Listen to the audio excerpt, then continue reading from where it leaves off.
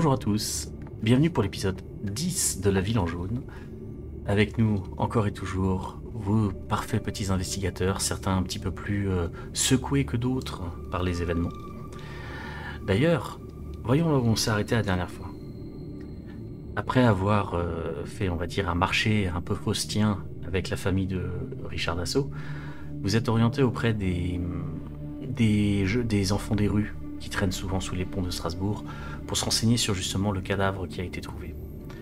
En suivant un petit peu les pistes, en regardant un petit peu autour de vous et en vous souvenant aussi de certaines rumeurs comme quoi des personnes venaient déverser de la terre dans l'île la nuit, vous avez suivi les traces jusqu'à un magasin de jouets, de jouets en bois, où pendant que les primars ont fait diversion en discutant un petit peu avec les gérants du magasin, accompagnés d'ailleurs de leur euh, comment dire, homme à tout faire à domicile, Tommy, euh, Richard s'est infiltré dans la maison par la porte arrière et a découvert dans la cave un réseau de tunnels qui semble, pour certains, assez ancien. Le père André a fini par l'y rejoindre et a y croisé un crâne qui semblait pas très humain et qui semble avoir fait l'avoir particulièrement euh, ébranlé. Vous êtes ressorti de là, non sans vous être fait un tout petit peu attraper par l'un des propriétaires du magasin. Une euh, comédie absolument digne des meilleurs Oscars euh, vous a permis de vous euh, en aller en emmenant Richard sous note. Et alors que Hector et le père André vous alliez en direction du commissariat pour aller y mettre le père André et le permettre de se reposer un petit peu, Eric et Richard vous étiez orientés en direction de la place Kléber pour y trouver peut-être l'issue du tunnel dans lequel tu étais, Richard. En chemin, vous avez croisé euh, Dorette, une femme qui était en panique totale à la recherche de son mari Lucien, et qui a expliqué qu'apparemment, son mari n'était plus tout à fait le même depuis qu'il avait commencé un chantier spécial qui aurait été missionné par Charles Bonjean. Elle a accepté de, de, passer au commissariat le lendemain matin avec toute preuve qu'elle pourrait trouver, ainsi que des vêtements tachés d'une certaine boue de son mari. Et vous êtes maintenant au milieu de la nuit, à proximité de la place Kléber. Est-ce que vous aviez encore quelque chose que vous souhaitiez faire avant de finir la journée Pas? Bah, on va aller checker dans, euh, là où il y a eu l'effondrement des escaliers de route, là. Oh, oui, euh, le... Okay. c'est ça. On va toujours essayer d'aller dans la dans le... les tunnels si on peut les trouver. Sachant okay. que j'essaie de te retarder le plus possible. Alors, tu sais, je t'ai dit genre, t'as vu un corbeau là-bas, machin. C'est bon, laisser le temps. Pour te laisser le temps à ton frère d'arriver, tu sais, je te pose des questions métaphysiques. Genre, euh, vous pensez euh, que euh, je, les escaliers en granit c'est mieux que les escaliers en bois euh, Tu vois, des, des, trucs comme ça. Parce qu'en fait, j'ai très peur de te confronter comme m'a demandé Hector. je relève pas et j'avance juste. J'ai pas envie de faire des nuquets. Et puis bah en fait si t'écoutes pas au bout d'un moment je vais te choper au début, de te choper, t'attraper par le bras avant d'entrer dans le, dans le chantier. On devrait peut-être attendre votre frère et les renforts, non? Moyen de personnes ce... impliquées, moyen de risque. Euh, bah si, euh, a de personnes impliquées, plus il y a de risques. je dois vous rappeler ce qui vous est arrivé Vous préférez attendre à l'extérieur? Bah attendre avec vous à l'extérieur. J'attendrai pas à l'extérieur. Bah pourquoi On n'est pas, à on n'est pas à deux minutes? Écoutez, euh, mon frère est vaillant, euh, il, il oui. croit beaucoup en ses capacités, il en a énormément. Mais... S'il y a quelque chose qui se passe en dessous, il ne tiendra peut-être pas. Il y a encore très peu de temps, il a eu encore de nouvelles quintes de tout. Je sais très bien qu'il commence à être affecté. Je préfère le protéger le plus possible. Maintenant. Donc si vous faites tuer moi, là, euh, comme ça dans le. Je me ferai pas tuer. C'est ce que tous les gens ont dit avant de mourir. Je vais me faire tuer par words. quoi eh bah oui, euh... Vous voulez que je me fasse tuer par quoi? Il était vide le tunnel, vous l'avez dit vous-même. J'ai pas tout vu dans les tunnels, hein, rappelez-vous. Et rappelez-vous que là, bah... on est sur une machination quand même assez euh, gargantuesque. Je te tends le fusil, vous voulez le prendre vous? Ça vous rassurerait assez? Rassurerait, ce serait qu'on soit plus que deux. Vous avez le choix, pour l'instant, moi j'y vais. Bon bah je prends le fusil. Je vérifie qu'il est chargé. Il l'est. Ok. Je laisse la sécu pour le moment. Puis je lève les yeux au ciel en me disant putain, il va me défoncer Hector. Et mais j'aurais tout fait. J'ai tout tenté, Bébou. J'ai tout tenté. ah, mais c'est tout à ton honneur. Du coup, c'est Richard. Hein. on parle de Richard hein, qui veut sauver des flics. J'espère que tout le monde qui nous écoute euh, comprend ça quand même. C'est important de le. Voilà. Je euh, sais qu'on est dans du Cthulhu, mais c'est du RP. Je veux pas vraiment me séparer du groupe, c'est le RP. oui, non, mais oui, on sait. T'inquiète, hein. moi c'est pas c'est pas moi qui parle. Hein. Tu veux partir tout seul, tu pars tout seul dans ton tunnel. Hein. Je veux dire, c'est Richard, euh, il a une mission et voilà quoi. Voilà, oui, oui, mais voilà. Allons-y. Bon, Richard, il commence à, à l'entrée du, du champ. Ok, la veste à l'entrée, ouais, ça marche pour avoir un repère. Veste à l'entrée, je vais sortir mon gun quand même. Gun torche va y aller. Moi, je, suis avec le pompe euh, sans la torche. Donc, alors que Richard est en train de se mettre un second primar à dos, vous vous approchez en direction du chantier. Un primar peut en cacher un autre, hein, comme on dit. Hein. Ouais. Le, bâtiment est bien avancé. Euh, les travaux sont presque finis. Il reste encore quelques euh, vitres à mettre par-ci par-là. donc le bâtiment est quasiment fini. vous pouvez trouver sans trop trop de difficultés un accès à l'intérieur du bâtiment. Euh, en revanche, alors que vous descendez un petit peu les escaliers pour essayer de vous rendre vers la cave, euh, la porte de la cave est verrouillée à l'heure actuelle. Oh. Il y a un cadenas, cadenas, métallique euh, sur la porte. Ça se crochette, du coup je te regarde. Tu peux t'en occuper? Vous ne verrez rien, on est d'accord. Allez-y. Je... Fais-moi ton Après, torche, je dis ça, mais je suis déjà en train de dégainer mes, mes crochets et tout. euh, test de torche. Ah bah c'est un échec. Hein. Euh, tu réussis à l'ouvrir, c'est pas trop le souci, c'est juste que ça t'a demandé un tout petit peu trop d'attention. Mais tu réussis à clac, ouvrir le cadenas et à ouvrir la porte. Quand vous l'ouvrez, vous avez une espèce de bouffée d'air qui vous arrive un peu en plein visage il y a une espèce d'odeur de brûlé un petit peu ocre qui vous agrippe. Est-ce que vous continuez de descendre vers la cave? J'allume la torche.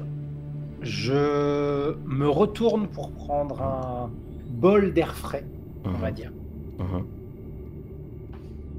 Vous êtes prêts? Oui, oui, oui, oui. Oh, j'ai une question, euh, avant pour l'environnement. Euh, on est d'accord qu'on est bien sur le même chantier où les escaliers se sont pété la gueule le 2 août. Hein c'est bien celui-là C'est celui-là. C'est au 43B euh, de, qui, fait le, coin avec le 10 Place Kléber. Avec le 10 Place Kléber. Mais nous, on est, rentré par le 10 Place Kléber. C'est ça. On voit où les escaliers se sont pété la gueule en venant à la cave ou pas? De ce que vous voyez, de l'autre côté Non, là, à ce niveau-là, en tout cas, vous voyez pas des, escaliers qui se sont effondrés. C'était voilà, juste pour demander ça. Mais oui, je suis prêt, Eric. Euh, vous l'honneur, c'est vous qui avez la torche. Je vous couvre. J'arme le chien et j'avance avec la torche. Ok. Tu armes le chien et tu commences à descendre les escaliers. Tu te rends compte qu'il y a une épaisse couche de poussière, pas seulement par terre, mais sur les murs également. C'est assez sale en fait. Quand plus tu descends, plus c'est sale. Et en continuant de descendre, tu arrives vers une pièce qui était en soi très, euh, comment dire, cubique, très simple, une cave. Et au bout de cette cave se trouve une ouverture dans le mur, qui mène vers un tunnel. Très similaire à ce que tu as pu voir Richard au préalable. J'ai vu la même chose Eric euh, sous le magasin de jouets. C'est ça? Moi je suis pas très rassuré. Vous avancez de quelques pas dans le tunnel. Euh, cette zone du tunnel n'est pas très bien illuminée. Oui. Je vais. Je vais faire un jet hum. de sagesse. D'accord. Parce que. Il y a quand même beaucoup d'alertes qui me disent que ça pue. Hum. Qu'effectivement, j'ai Richard avec moi qui n'est pas le plus serein du monde. Oui, mais par contre, tu auras remarqué qu'il sait se servir d'un flingue. Par contre. Oui, oui. Mais ça, disons que tes remarques je sais qu'elles sont raisonnées, donc ça m'use un petit peu. Je vais faire un jet de sagesse. Si je réussis, on attendra, sinon je continue. Richard, c'est le quota sagesse du groupe, quoi. Au secours, hein. il y a un problème, il n'y a rien qui va. Hein. non, c'est moi qui l'ai fait. Sagesse ou intelligence? Ah pardon. Euh, je dirais que là, ça sera plus de l'intelligence, en fait. Le fait de repérer tous les red flags un peu partout. C'est ça.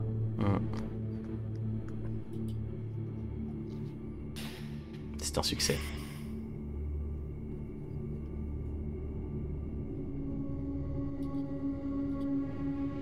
Donc Je vais. Je vais mettre un. Vu qu'il y a le tunnel et tout, il doit y avoir des petits cailloux, je vais... tu vas me voir mettre un. Un coup de pied un peu énervé dans un des cailloux. Du coup, vu que moi j'avançais, je te cogne avec le fusil. Oh, ça va? Vous avez raison. Propos d'eux. J'ai dit beaucoup de choses quand même. Ouais, mais vous avez pas souvent raison. On va attendre mon frère. Ça, c'est votre point de vue. On va attendre. Ah, voilà. Bah oui. C'était un peu le truc à faire. Mais vu que vous faites deux mètres, euh, vous m'avez fait peur et euh, je sais pas vous le dire. Mais je pense que ce serait plus sage d'attendre des gens parce que imaginez une seule seconde que genre euh, là ça s'effondre, bah on est comme des glands. Parce que bon. que tu dis ça, je vais regarder euh, du coup avec la lampe les, bah sûrement les tréteaux euh, mhm. Qui tiennent le truc, voir si ça a l'air d'être solide ou pas. J'y connais rien. Mais... Que c'est des étais en bois. Ou... Voilà, style d'été que c'est. Ou est-ce que c'est un vérin? Le truc que tu. Non là pour le coup ça a l'air d'être effectivement une structure en bois. Euh, ça a l'air assez solide, assez stable, encore que tu vois que certains bouts de bois on semble avoir été brisés, semblent un petit peu en train de plier. Tu vois aussi d'ailleurs que un peu plus loin, en pointant un peu la torche euh, en direction du tunnel, tu vois qu'il y a un endroit un peu plus loin dans le tunnel qui a pas l'air d'être aussi régulier que le reste. Je vais deux secondes éteindre la torche. Mhm. Ah mais ça va pas voir s'il y a de la lumière quelque part dans le tunnel, s'il y a une autre source de lumière, parce qu'on la voit pas à cause de la torche. Il y a une très fine source de lumière qui semble en émaner. Un peu diffuse. Je, je rallume pas la torche uh-huh. et je la montre à Richard. Richard, regardez là-bas. Ouais, je vois. Est-ce que ça pourrait correspondre à la lumière de la cave que j'ai vue?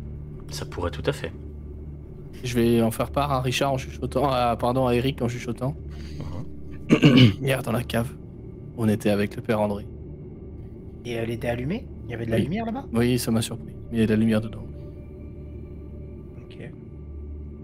Ça, au niveau du type de lumière, ça peut pas être de la lumière euh, naturelle. Elle est plus jaunâtre. De toute façon, il fait nuit alors. Non, t'avais avais le côté de lumière un petit peu plus jaunâtre, un peu vacillante, tu sais, des différentes lanternes que t'avais vues sur le chemin. Ça semblait être le même type de lumière. Ok, très bien. Non, parce que ça aurait pu être la lumière de la lune ou quelque chose hmm. comme ça qui transparaît depuis un puits de lumière. Non, non, là c'était un peu plus euh, vacillant. Ok. Bon. Et regardons la, pièce où on est 5-10 minutes le temps que mon frère arrive. Ok. Pendant ce temps-là, Père André, vous venez de vous faire déposer au niveau du, du commissariat. Est-ce qu'il y a quelque chose que vous souhaitez y faire ou juste vous passez la nuit? Euh, Le temps. Le temps d'avoir les livres, euh, les livres que j'ai demandé, bah, je, vais, je vais passer la nuit. D'accord. Je vais me reposer un bureau, euh, ouais. bureau Tout en sachant effectivement que comme la mairie est fermée à cette heure-ci, vous savez aussi que vous n'aurez pas les livres avant le lendemain matin. Donc une petite pièce, enfin un petit coin où vous est aménagé sur un banc. Euh, disons que le fait d'être arrivé avec Hector a donné un tout petit peu de cachet à la requête et euh, vous a mis un peu confortable. La nuit n'est pas forcément la plus facile. Il y a eu beaucoup d'émotions pendant la journée. Mais vous passez une nuit ininterrompue. Hector, après avoir déposé le père André, euh, je vais voir qui est disponible déjà ce soir, en sachant que, à mon avis, il n'y aura pas grand monde. Ah non, t'as as deux, deux gars d'astreinte qui sont en train de, tenir le comptoir et d'être un peu, euh, comment dire, le guichet, je veux dire, et qui sont un peu épuisés et pas envie d'être là. Ouais. Et je peux pas en réquisitionner un comme ça parce que sinon ça sera pas possible et je vais me faire défoncer par le commissaire. Euh... L'armurerie, elle est disponible ou pas? L'armurerie est disponible, oui. Tu, en as les clés de toute façon, vu ton statut, tu en as tout à fait les clés. Je vais quand même prendre un formulaire. Je veux dire, je vais voir ce qu'il y a disponible. Uh-huh. Et je vais prendre un formulaire pour faire les choses en bonne et due forme, euh, uh-huh. au cas où si j'ai besoin de réquisitionner quelque chose. Qu'est-ce uh-huh. qu'il y a de disponible à l'heure actuelle? Euh, Alors, dis-moi ce que tu cherches je, Je cherche potentiellement entre un fusil à pompe et euh, Je pense pas qu'on aura ça au commissariat, mais sait-on jamais, peut-être une mitrailleuse légère. Alors, mitrailleuse légère, non. Il reste un fusil à pompe et sinon il reste trois pistolets. Je vais prendre le deuxième fusil à pompe du coup. Mhm. Avec euh, une vingtaine de cartouches. Très bien. Et euh, est-ce qu'on a. Ça paraît con. Mhm. Mais est-ce qu'on a des masques à gaz? Là, directement au sein du commissariat, non. Ouais. C'est plus le truc que tu aurais la possibilité de te procurer au niveau des, pompiers. Très certainement. C'est loin d'ici? C'est pas tout près, tout près. Soit. Euh, comment te situer le truc? euh, En gros, ça se situe plus au nord de la ville. Euh... Pardon, pardon. Plus à ouest, pardon, à l'ouest de la ville. Ouais. Euh, quand tu regardes de l'autre côté de l'île, tu as euh, la caserne euh, Sainte-Marguerite. Ah oui, effectivement. Ouais, c'est vraiment loin en fait. C'est vraiment pas tout près par rapport à là où tu es. Ouais, ce serait une perte de temps. Qu'est-ce qu'il y a de disponible au niveau matériel? Niveau matériel, tu as, on va dire, le nécessaire courant en termes de matraques, menottes et autres jeux du genre. les armes dont on a déjà mentionné. Euh, au-delà de ça, c'est quelques uniformes de rechange et ça se limite un peu à ça pour l'instant. Ouais, bon, on va faire avec. Hein. Bah écoute, je vais remplir le, formulaire en quatrième vitesse. Uh-huh. Euh, je vais le poser euh, sur le comptoir du, du flic d'astreinte en disant uh-huh. tiens. Ah Ah oui Ah Oula Ça va, monsieur Primard Parce que. Tout va bien. Si jamais. Ouais, j'ai, euh, je prends des précautions. Je vais retourner à la place Kléber. Si jamais il y a quoi que ce soit et qu'on ne revient pas dans 3 à 4 heures avec mon frère, envoyez des hommes là-bas. Place Kléber, ok, ça marche. Un endroit en particulier à Place Kléber ou juste Place Alors, c'était le chantier pour le coup. Euh, c'est c'est au niveau de la journée. Ouais, c'est. Ah, pas l'info, toi, de toute façon, pour l'instant. Non. Ouais, c'est vrai. Remontez les chantiers. Sait-on jamais. Très bien. On fait comme ça. Et réveillez-vous, je vous en supplie, prenez un café. Le truc, c'est que si je prends pas, si je prends pas de café, je m'endors. Si je prends du café, je passe mon temps au shot. Dans tous les cas, je suis pas disponible au guichet, donc c'est un peu compliqué, vous comprenez Vous préférez que le commissaire sache que vous êtes en train de faire du lest et de dormir sur votre comptoir? T'as deux secondes d'hésitation. Je vais faire un café, hein? Je pense que c'est une bonne idée. Voilà. Et il va immédiatement aller s'en faire. il va passer sa nuit. Je pense à faire du démarchage, moi, commissaire, visiblement. Ils ont besoin de trucs pour se réveiller. Non, non, pas de coke euh, sur les flics, s'il te plaît. Euh... On ne pas. oh, quel enfer. C'est risqué. En plus, c'est méta, il le sait pas, le perso, t'inquiète. en plus, Richard, il vend pas de, il vend pas de coke. C'est une autre branche, c'est un autre service. Euh, du coup, bah, je vais, euh, je vais remonter dans la bagnole avec le fusil à pompe sous bras. et puis, bah, je vais rejoindre les chantiers. Très bien. Tu refais route vers le chantier et tu regardes un petit peu autour de toi. Tu repères assez facilement euh, le manteau d'Eric devant le chantier du 10. Ok. Je vais pas être rassuré parce que clairement il a pas écouté ce que je lui ai dit. Euh, ce que je vais faire, c'est que je vais prendre le fusil à pompe, je vais le charger. Euh, donc je pense qu'on va entendre le clac clac dans le dans la, dans, dans, le, dans, dans la rue. Mhm. Et en fait, je vais prendre la torche que je vais mettre juste sous, le, sous le, la pompe, en fait. Mhm. je vais guider comme ça. Et je vais avancer. Ok. Sachant que la torche en 1920 est quand même un peu volumineuse. Hein. Oui, je sais. Ça va être ça... impraticable. Une lanterne. Ils ont qu'autant dans les, dans les films, ils sont comme ça, tu sais, avec la porte torche en dessous. Ouais, ouais, je sais. Là, ça marchera pas pareil, mais euh, oui. Mais en tout cas, tu as la non, torche. mais en fait, tu, sais, c'est poser le bras en dessous vraiment pour mm. soulever, en fait, plus qu'autre chose. Ça, ça te sert un peu d'appui. En vrai, je soulève une idée qui peut être pas conne, mais tu peux. T'as une lanterne, t'as la hanse, tu peux mettre la hanse sur le fusil. C'est pas une lanterne, on est plus chaud à. Non, les, les, les, les lampes torches existaient. Ouais, ouais, les lampes torches existaient, et puis parfois c'est même au gaz. Euh, le truc, c'est que c'est des grosses. Euh, si jamais tu, regardes les films euh, ou les séries des années 60, euh, t'as un bon état d'esprit de, la taille des, lampes torches. Ouais, mais c'était juste au cas où si t'avais une lanterne, tu pouvais Oui, bah en vrai, ça passe avec une lanterne, clairement. C'est le volume d'un sac à dos, mais sur une bretelle, quoi. C'est un peu ça, ouais, en vrai, ouais. Et eh bah ben, du coup, euh, je vais commencer à progresser, essayer de retrouver, euh, enfin essayer de retrouver mon frère et, Richard. Ça marche. Quand tu arrives dans, dans, cette cave, tu vois que la porte semble avoir été ouverte et un cadenas a été disposé un peu nonchalamment sur le sol. Et en continuant de descendre des escaliers, tu vois un Richard et un Eric surtout très euh, grognon qui sont là en train d'attendre. Vous entendez Hector arriver. On le braque. Enfin, moi perso, je braque pour l'instant. Mhm. Moi pas. Ça va être la triplette mexicaine le retour. Mmh.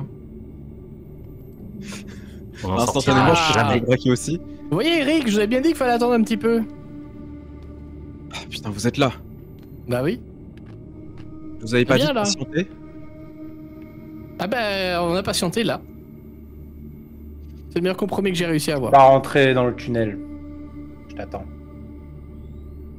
Richard, je vous remercie. Vraiment. Plaisir.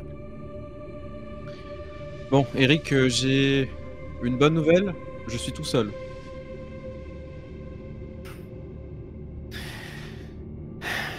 Mais personne n'est disponible. En même temps, tu t'en doutes. Oui. Mais je suis désolé. Ça évitera d'avoir d'autres personnes à l'hôpital si ça se passe mal. Ouais. Par contre, tu fermes la marche. C'est vous qui ouvrez du coup, Eric? Oui. Bah. Si jamais il y a quoi que ce soit, avec les derniers problèmes que tu as eu, tu auras plus de mal à courir que nous. C'est non négociable, je te préviens tout de suite. Je comptais pas passer devant. Bon, maintenant que vous avez fini tout ça, on peut y aller? Du coup, éteins ta torche. Il y a de la lumière au fond de ce couloir. On va essayer de voir jusqu'où ça mène. Euh, Richard me dit que c'est possiblement la cave des des fournisseurs de jouets. Juste petit détail, MJ. Mhm, mhm. On est dans des tunnels. Mhm. On a fait la guerre. On se sent comment? Bah là, étant donné que pour l'instant, ni, ni toi ni Eric n'êtes entrés directement dans le tunnel, pour l'instant, ça va. Je t'avoue qu'au moment où vous avez commencé à y mettre les pieds, ça risque de se transformer en jet de santé mentale. Oui, mais c'est... oui, voilà, je... Oui, hein, bon. Ok. Non, mais c'est... Pour rien que j'ai pris une grande bouffée d'air frais pour profiter et tout, euh, t'inquiète. tu, tu, veux qu'on prenne du courage euh, liquide? Non, on a besoin d'être clair pour l'instant. Avançons. Pendant qu'on avance, je vais te dire, euh, j'ai retrouvé la femme d'un ouvrier disparu qui aurait bossé sur ces tunnels. Euh, elle va venir demain au commissariat, elle va nous ramener de la boue et de la terre qui viendrait de ces tunnels. Peut-être que ça nous aidera à, voir quel type de terre c'est, où est-ce qu'on pourrait en retrouver. Et euh, surtout, elle va essayer de trouver tous les indices qu'elle pourrait. Ce serait bon gens qui aurait directement recruté cet homme. Encore, bon Je sais pas si c'est vraiment lui, mais en tout cas, il y a des choses à voir là. Ça devient Stolch. Mais bon, on verra ça demain. Ouais. Préparez-vous. Vous avancez un peu dans le tunnel. Faites-moi tous les deux un test de santé mentale. Richard, tu vois que par contre devant toi, ils sont pas l'air d'être super super à l'aise. Ouais, ça va être encore moi le quota, génial. Après, il reste, il reste, professionnel en tout cas. Bah oui, non, mais je ne doute pas. C'est leur taf. Et euh... Vous avancez un peu et les, les, premiers mètres sont un petit peu, comment dire, artisanaux. Vous voyez les, les, tréteaux en bois, la, façon dont ça a été un peu creusé. Et passé ces quelques mètres, vous arrivez vraiment dans le tunnel en lui-même. Et vous voyez que c'est beaucoup plus fluide dans la façon d'être construit. C'est très presque lisses les murs, même si vous voyez effectivement le même genre de striure que tu avais vu également toi, Richard, euh, quelques heures avant. Est-ce que du coup ça a l'air plus ancien que ce qui a été créé C'est-à-dire que est-ce que par exemple tu aurais une poussière différente, euh, une vieille des moisissures ou des choses qu'on n'a pas sur l'autre tunnel à cause de ça? Hmm. Disons que l'autre tunnel euh, était un peu dans la même situation. Euh, Richard, toi tu aurais pu constater ça. C'est que entre la cave et le moment où le tunnel s'élargit un peu, ça avait l'air plus récent. Mais une fois que tu étais dans la partie qui était un peu plus élargie, ça par contre ça avait l'air plus ancien. Et c'est là que tu trouves cette espèce de boue un petit peu plus grise, un petit peu plus mm. poisseuse en fait. Et là ça te fait un petit peu la même chose Eric ici. Les premiers mètres semblent avoir été euh, creusés relativement récemment. Et dès que le tunnel commence à s'élargir, tu te rends compte que la Terre est un petit peu différente. Alors, je vais jouer un peu avec le feu. Hein? Mais malheureusement, niveau boue creusée et tout, je m'y connais un peu.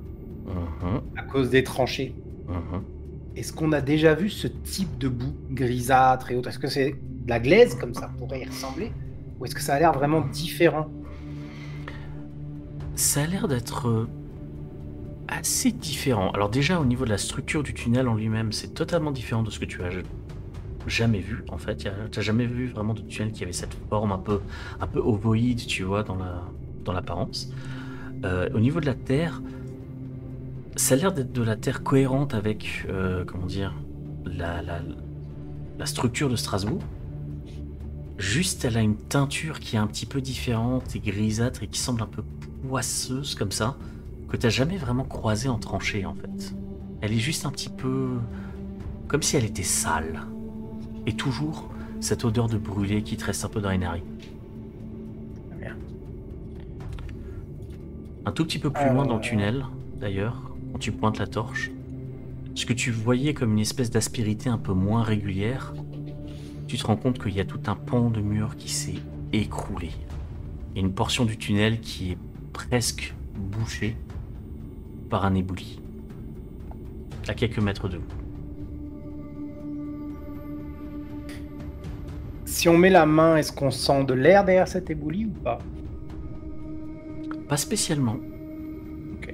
Tu vois, tu, tu, vois un peu la lumière de l'autre côté de l'éboulis. Le tunnel semble continuer. Par contre, ce que tu constates assez rapidement, c'est qu'au milieu de tous ces rochers, de tous ces bouts de terre, etc., on sort une main. Ah Moi j'ai une question pour me localiser. Euh, L'éboulis, quand je viens de la cave, il est sur la, au chemin qui part à gauche, du coup. C'est ça. Ah, c'est ça. Donc c'était le deuxième chemin que tu avais vu. Mmh, ouais, c'est ça. Euh, non, non, non, non, vous êtes venu de l'autre côté en fait. Donc toi, le courant d'air venait de là où se trouvent les bouliers actuellement.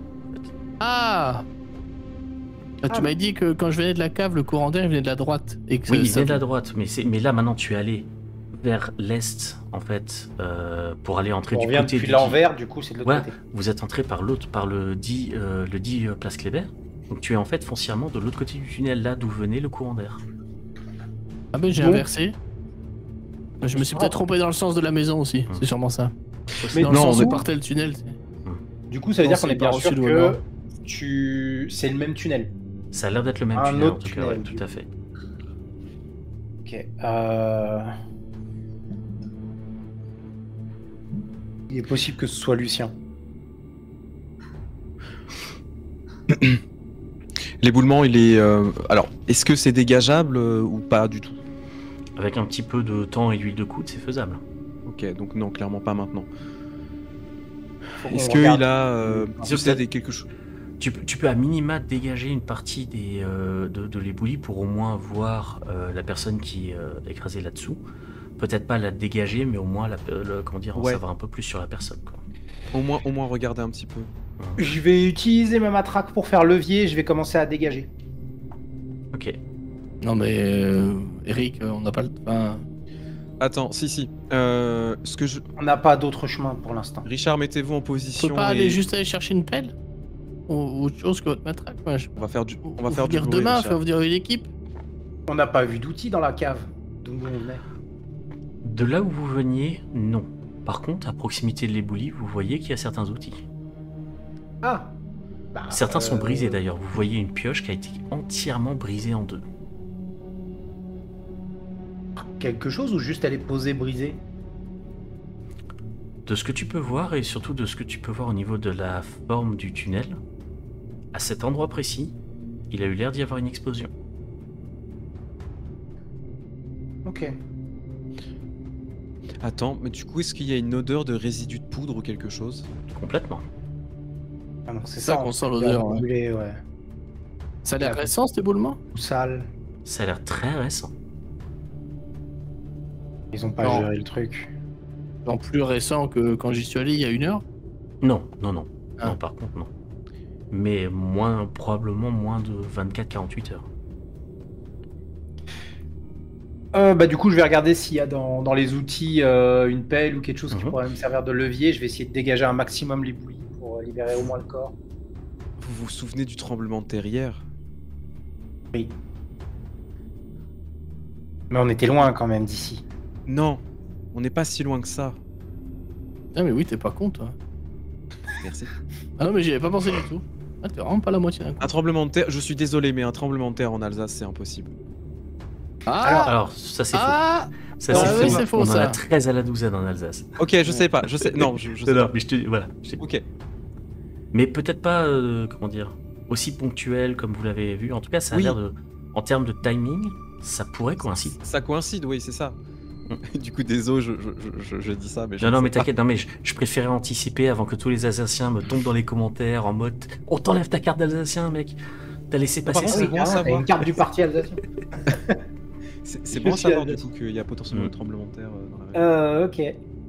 Mais euh, ouais, du coup, c'est possible que ce soit ça. Si tu penses qu'on est assez proche, moi je pense qu'on est trop loin, mais si tu penses qu'on est assez proche, ouais. Euh, Attends, pas tant, de là. Hein.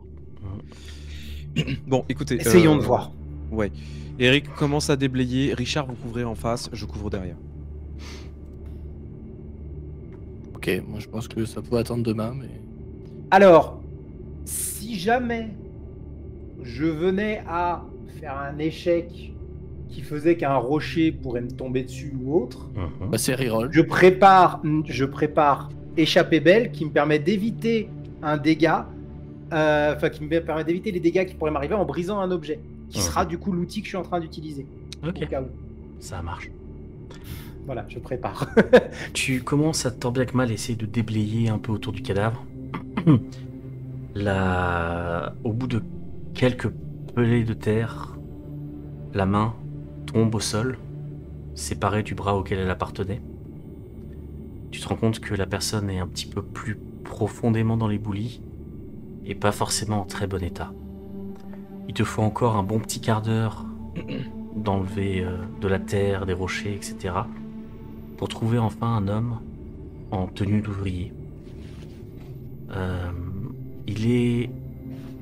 Comment dire La vision de son corps est assez violente parce qu'il a été littéralement écrasé sous une tonne de pierre. Il est vraiment pas en bon état. Et ça peut pas vous empêcher, vous pouvez pas vous empêcher de vous souvenir un tout petit peu de Vincent, qui était dans un état moins costaud, mais tout aussi écrasé. De toute façon, tous les deux, je vous demande pas. Pour l'instant, ne regardez pas euh, le corps. Je suis tout seul à le voir pour le moment. Je vous appelle pas. Euh, je suppose que je dois faire un jet? Euh, là, je veux bien, oui. Le coup de la main qui tombe par terre, ça t'a pas rassuré. Alors, je veux bien croire. Malheureusement, j'ai vu des gens tapés par des obus. C'est pas facile, mais je, je, garde ce qui me reste de repas dans l'estomac pour l'instant. Ok. tu réussis, à déblayer, tu réussis à déblayer suffisamment pour pouvoir voir euh, une grande partie du corps de cet homme. Je vais essayer de fouiller ses poches si elles sont accessibles. Ok. Tu trouves ses papiers. C'est un certain Lucien. C'est triste, mais au moins elle aura quelque chose à pleurer. En revanche, tu vois aussi que dans ces papiers, il y a pas mal d'argent. Les billets, prévenu. quelques francs. Une somme assez euh, conséquente au vu de son métier. Alors, ce qui est bien, c'est que du coup, il a été directement payé en liquide. Donc, il y a possiblement des empreintes sur ces billets. La dernière personne à part lui à les avoir eus. Possiblement. Euh, je vais mettre tout ça dans mes fouilles, dans mes poches. Mhm. Euh, le corps est transportable ou il risquerait de se déchiqueter? Là, il risquerait de se déchiqueter. T'as pas réussi à déblayer l'intégralité du corps et au vu des pierres qu'il y a là-dessus, et surtout, chaque fois que tu prenais un parpaing et que tu le mettais de côté, tu voyais des trucs qui commençaient à tomber un petit peu plus. Tu es pas sûr de pouvoir déblayer le corps en entier en restant en sécurité. Ok. Euh... Le visage est pas forcément intact, mais on peut reconnaître un homme dessus ou pas? Tu peux, Il pourrait être identifiable. Euh, Hector, donne-moi ton appareil photo. Reste retourné pour l'instant. Je t'envoie la. Je t'envoie la mallette avec le tout. Bah du coup, je vais prendre, je suppose que dans ta sacoche, tu as des linges ou un truc comme ça. Oui, quelques des compresses, des trucs comme ça. Je vais prendre la main et uh-huh. je vais l'emballer et la mettre dedans. Ça permettra d'avoir les empreintes de la personne. D'accord. Pour l'instant, on n'a pas le corps, mais au moins on saura lui dire que voilà, c'était vraiment lui et. Perso, j'aurais pris euh, son alliance, tu vois. Quelque chose pour le reconnaître. Ah bah elle y est, hein. Mais du coup, t'as pris la main. Sur la main. Euh. Non, non, mais je veux dire, elle est sur la main, donc c'est deux pierres d'un coup. Oh oui, non, non, mais. mais euh, je vais prendre les photos, les papiers, et du coup, je sens, je commence à sentir de l'air maintenant que j'ai commencé à faire, à enlever un peu les pierres ou pas Pardon est-ce que je sens un courant d'air qui vient depuis l'intérieur maintenant que j'ai commencé à enlever les pierres Pas depuis l'intérieur, tu sens plutôt le courant d'air qui vient de derrière toi, de l'extérieur, de là où vous êtes rentré, et qui va en direction du tunnel. Ah, mais l'air s'engouffre, c'est que donc il y a, c'est plus l'air, c'est plus l'air qui s'engouffrait et le courant d'air qu'a ressenti Richard à la maison, enfin au magasin de jouets, ça semble être le courant d'air qui vient de là où vous êtes actuellement. Ok.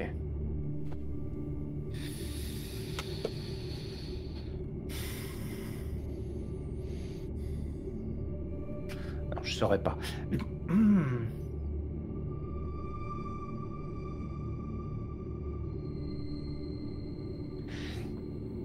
Le problème que j'ai, euh, c'est que euh, si on laisse passer du temps, ils se rendent compte de choses et qui nous empêchent de réaccéder à cet endroit-là. Ça, c'est ce qui me gêne. Je vois très bien que je peux pas déblayer sans prendre de risques trop gros.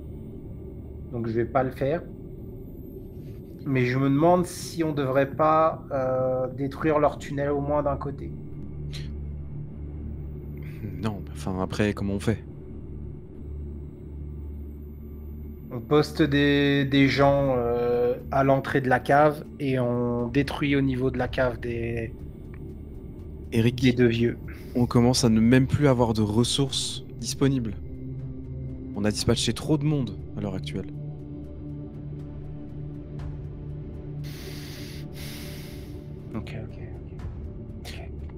Il faut qu'on arrête les personnes qui sont ici. Déjà, c'est la priorité. Au moins qu'on les emmène euh, en garde à vue. Ensuite, effectivement, qu'on déplace une équipe qu'on a déjà déplacée ici pour déblayer tout ça.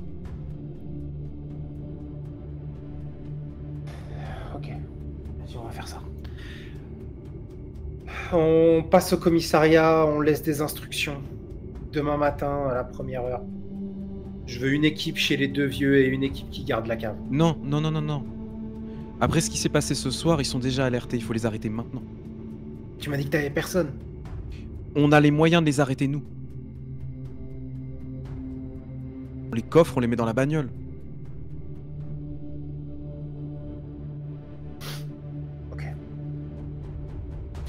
Ok. On continue par la cave. Ok. Et euh... Richard, il est pas rassuré à cette idée. Vous pensez que c'est une bonne idée d'y aller là maintenant, en plein milieu de la. Richard, plus on te perd de temps, plus on va encore perdre une piste. Et les pistes Mais sont. Le sera toujours là demain, enfin. Le tunnel on, a, une journée à la con là, on est quand même complètement crevé. Enfin, rappelez-vous comme que le père André est devenu zinzin en, marchant dans, ce, dans ces tunnels là. Je, suis conscient de tout ça, Richard, mais là le ah temps presse. Non mais. Il y a trop de gens qui meurent plus, le temps avance et plus on perd des pistes et plus euh, la sensation de perdre du temps qui, ne fonctionne pas. Euh. Pas trop d'accord. Du coup, est-ce que tu veux ne pas les suivre hésitant. Parce que là, Richard, il dit vraiment que c'est un peu une idée à la con. Parce que là, tout le monde est crevé, tout le monde est sous stress, tout le monde est pas bien. Et euh, moi, je vois pas dans quel monde demain ça aura changé, en fait. Je veux dire, enfin, dans quel monde ce tunnel il aura disparu, dans quel monde, tu vois. À toi de me dire. Ils peuvent le dynamiter, ils pourraient le faire s'écrouler. on a toujours la piste de France pour remonter chez une vite. Pas vite. Vous êtes vraiment sûr de vouloir euh, vous aventurer dans on ne sait pas où ah, Là, nous allons juste retourner. On va juste retourner à la cave des vieux. Là, c'est bien le chemin qui mène jusqu'à chez eux. oui, c'est ça. Mais vous connaissant Eric, vous allez vouloir aller plus loin, non? On n'ira pas plus loin. Il n'y a rien plus loin. On peut pas. C'est effondré justement. Pour l'instant, il n'y a pas d'autre chemin. Effondré. Oui, mais il n'y a pas d'autre tunnel. Tu as fait une ligne droite et après, ça s'est serpenté en deux. Nous, on est passé de l'autre côté et l'autre est effondré. C'est un Y avec une broche en moins. Donc là, on n'a pas d'autre tunnel. À moins que je Attends, je vous envoie un dessin parce qu'il y a vraiment un truc que j'ai pas compris dans ce putain de tunnel. Alors peut-être que c'est moi qui. Non, non, j'étais en train de faire un schéma sur Paint honnêtement parce que je. Non mais enfin ça paraît con mais je, je comprenais pas. Non non mais c'est. Non, non mais vas-y, euh, c'est important qu'on sache. Euh... On l'envoie parce que là il y a un truc que, que je comprends pas. Mhm. Alors pour moi c'est un Y avec une branche effondrée donc du coup pour moi on n'avait pas de problème. Parce qu'attends, je, je, vous fais une patate là, euh, hop là, hop là. Euh...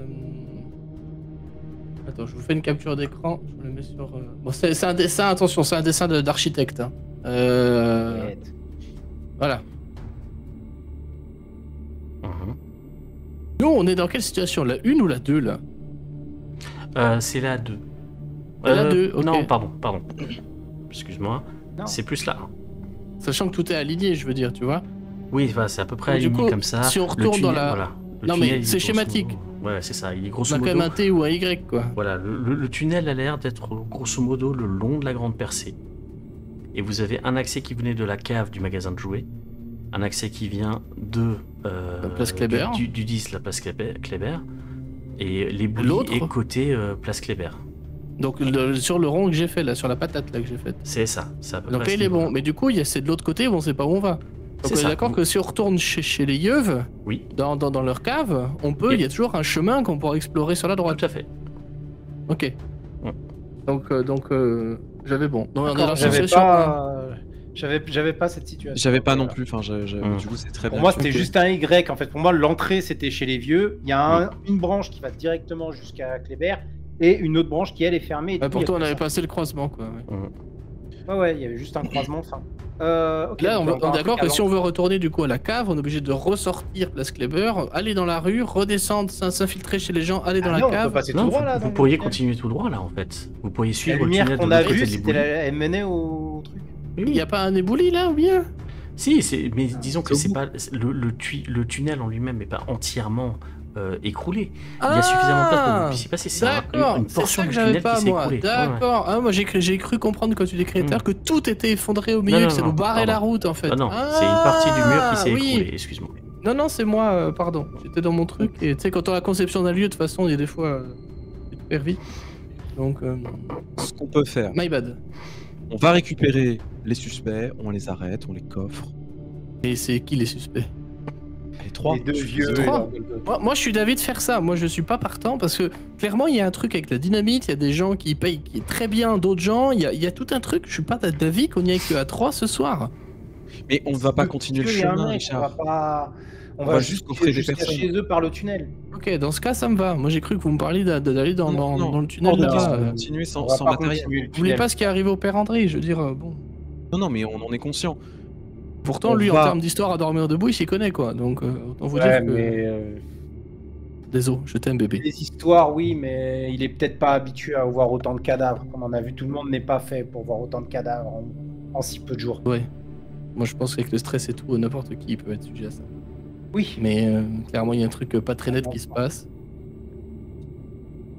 Et je préfère qu'on soit prudent. Et c'est moi qui le dis. On sera prudent. Très bien. pour, récapituler, on retourne dans la maison des vieux, propriétaires du magasin, on les coffre, on retourne au commissariat, on les met au trou en attendant. Le lendemain matin, on envoie une équipe ici pour tout déblayer. Est-ce que ça vous convient? Oui. Et une équipe de chez les vieux et euh, une équipe pour surveiller dans la cave des vieux et dans la cave ici pour Tout à fait. s'il se passe quelque chose. Moi, je, je vous cache pas qu'il y a une autre idée qui me taraude et je vous en parle. Ça fait quelques jours que je l'ai en tête, mais que j'ose pas la verbaliser. On n'a pas été très discret pendant nos investigations. Non. Vous en conviendrez. Sans vouloir vous vexer, vous êtes deux flics. Vous en êtes euh, honteusement servi et c'est tant mieux, ça a permis de faire avancer le schmilblick.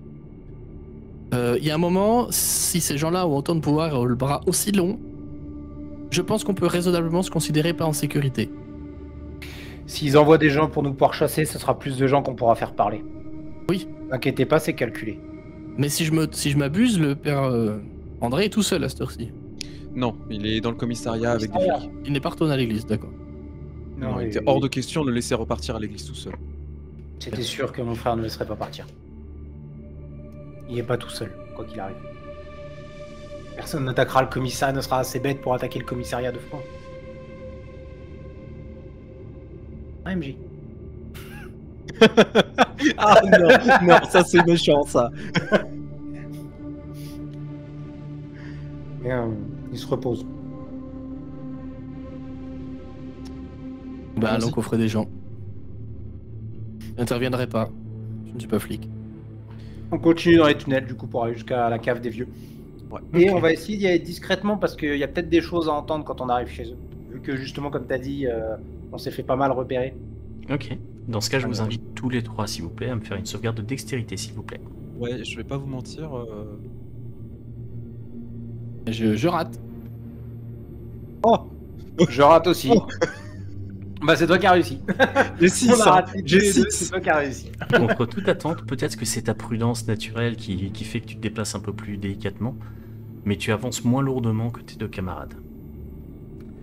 Vous avancez dans le tunnel et arrivez à proximité de la petite bifurcation qui amène dans la cave du magasin de jouets. Quand vous arrivez là-bas, vous tendez un petit peu l'oreille, vous vous rendez compte que il y a de l'activité dans le magasin. Ils ont pas l'air, euh, ils ont pas l'air d'être endormis à cette heure-ci. Ils ont l'air plus nombreux que pourraient être trois personnes au niveau du barouf qu'ils font. Pas sûr. De là où t'es, sans entrer directement dans la cave, tu pourrais pas trop dire. Bah, vu que je me sens le plus félin du monde, je vais essayer de jeter un œil discret en continuant d'avancer. Ok. Quand tu avances un tout petit peu, tu commences à entendre des voix à l'étage. La maison est effectivement pas très très bien isolée. Tu, en- tu reconnais la voix des deux petits vieux. Et une voix que t'as pas entendue auparavant. Non mais... Foncièrement, c'est quoi le problème? Qu'est-ce qu'ils qu'est-ce qu'ils voulaient ces flics? Allez, ils ont quand même posé des questions très orientées, hein, je veux pas dire, mais euh, c'était quand même un petit peu, un petit peu inquiétant. Ouais, ouais, forcément. Vous avez dit qu'il s'appelait comment? Primar, c'est ça? Bon, je vais m'occuper de quelqu'un d'autre, mais bon, je vais essayer de m'occuper d'eux à la place. Eh mais, dépêchez-vous, faut pas que ça, rem- que ça remonte jusqu'à nous ces conneries. Vous inquiétez pas, je sais quoi faire. Tu entends le bruit de la porte de devant du magasin qui se ferme, avec le petit cling cling cling, la petite clochette qui est au-dessus de l'entrée. Les deux petits vieux sont encore en train de ronchonner. C'est pas bon, c'est pas bon là. Faut qu'on prévienne tout le monde. Faut qu'on prévienne tout le monde. Demain matin, première heure, Philippe. Tu entends des bruits de pas qui remontent les escaliers pour aller au premier étage. Et ça semble se calmer dans la maison. Ok, au moment où je les entends monter les escaliers, Mhm. euh, je me retourne vers vous. Je crois qu'Umvit était là. Montez, je sors. Et je vais utiliser leurs pas, leur bruit de pas, pour qu'ils n'entendent pas mes bruits de pas dans les autres escaliers. Et comme on a nous-mêmes claqué la porte, de la porte en bas de mmh. je compte sur le fait qu'il l'ait pas refermé à clé derrière nous grâce à ça. Pour essayer de sortir par la porte de derrière et foncer sur la rue principale. Au moins essayer de l'apercevoir, pas forcément l'appréhender, me jeter dessus. Je préfère euh, rassurer Hector tout de suite, mais essayer de le voir, voir si c'est lui ou pas avant qu'il se barre. En, vrai, euh, je, sais que Hector est très anti-combat, etc. Au vu des circonstances, une petite balle dans la jambe, ça fait pas de mal. Hein. si Excuse-moi. j'arrive à distinguer que c'est lui ou pas, il y aura quelque chose. Mais déjà, pour l'instant, c'est du repérage. déjà, pour l'instant, c'est du repérage. Mais j'essaye vraiment de faire ça. Donc, je pense que je vais rejeter un jet de discrétion, mais je vais essayer de confondre mes pas dans les leurs pour pas qu'ils m'entendent. Et je vais même t'engager à faire également un jet de torche pour avoir écouté la conversation. Euh. D'accord que tu parlais, ils étaient à l'étage? Hmm Oui, enfin ils étaient, ils étaient à l'étage. Dans l'appartement, quoi. C'est ça. Et nous, on les a attendus depuis le bas des escaliers qui mènent à l'appartement, côté rue. vous étiez au niveau de la cave, en fait, donc à l'issue du tunnel. Euh, voilà. Du coup. Eh bien, c'est un échec. Plus de torche pour Hector, pour euh, Eric. Eh tu es épuisé en termes d'investigation, tu as vraiment trop fait attention aux détails aujourd'hui, ça t'a particulièrement fatigué. Et maintenant, fais une sauvegarde de dextérité pour ce qui est de ta discrétion. c'est encore mieux. C'est une catastrophe ce soir. ok. Il faut bien que ça nous retombe dessus un moment. Hein. Ah oui, oui, non, mais clairement. Tu commences à monter. Euh, au moment où tu vas pour euh, ouvrir la porte, résiste un tout petit peu.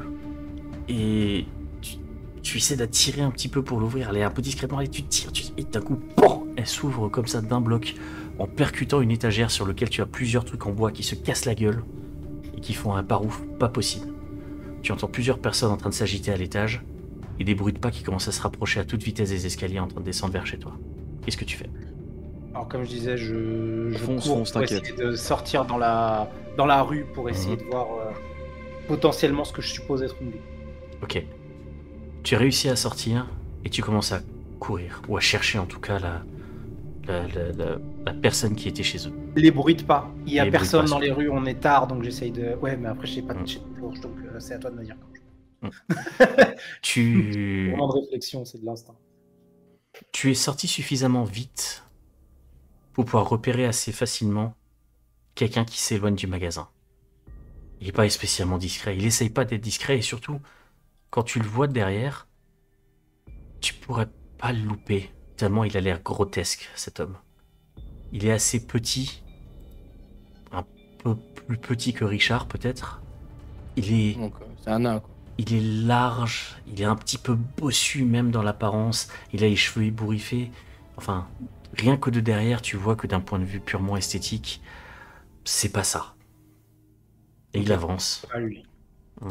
On nous a parlé d'une personne à large stature, un peu grand et tout. C'est pas lui. Ça l'air de correspondre à la, description. Par contre, du coup, je vais quand même le suivre. Ok. T'essaies de le suivre discrètement ou pas? Euh, Je suis très loin de lui ou pas? Là, t'es grosso modo à une petite quinzaine de mètres 20 peut-être? Je vais essayer de essayer pour l'instant de le suivre discrètement jusqu'à arriver à assez près pour qu'en une foulée, je puisse le rattraper. Si jamais il se mettait à courir. Ok, ça marche. En gros, je, vais essayer de préparer la course-poursuite au cas où. Ok. Fais-moi une sauvegarde dextérité, s'il te plaît. Mais euh... Pendant que nous, on est toujours à l'arrière de la maison. Oui D'accord. Ok. Tu t'approches à pas feutré. Pendant ce temps, Richard et Hector, vous entendez énormément de bruit à l'intérieur de la pièce de derrière, juste au-dessus de la cave. Ouais, donc le magasin, quoi. Dans le magasin, On va monter aussi, de toute façon, c'était l'objectif. Mais depuis mhm. l'arrière de la maison, on peut pas monter facilement. On fasse le tour. Si, si, vous êtes dans la cave. Là, t'es dans la maison Dans la cave, on va monter. Ah, on est passé par la cave, je suis trop con. non, non, mais pardon, c'est moi, je me suis dit. J'étais resté sur le fait que les boulements bloqués, j'arrive pas à m'en enlever, ça. Désolé. Richard, désolé. Bien sûr. J'ai le pompe ou pas Tu l'as repris, Eric? Ah non. Ah cool, donc j'ai le pompe. On est tous les deux au fusil à pompe. Hein. Donc, donc, je pompe, clic clic. Ok. En faisant le clic clic. Vous avez entendu? Merde. Tommy va voir. T'entends des bruits de pas qui descendent les escaliers et vous voyez arriver le mec à la carrure imposante. Je, chuchote juste à Hector avant qu'il descende. Vous me couvrez au cas où Bien sûr. Je le pointe du coup. Police, à terre C'est ce que j'allais faire. c'est pour ça que je te peux couvrir. tu peux, on peut le faire en synchro. on synchro. Police Put your hands on your head Qu'est-ce que. Il a toujours rêvé de dire ça en fait. tu... Vous voyez qu'il il lève pas immédiatement les mains, il vous regarde comme ça. Qu'est-ce que vous faites ici? À terre pas être là. On est là pour vous arrêter Tu vois qu'il regarde un peu en direction du haut des escaliers.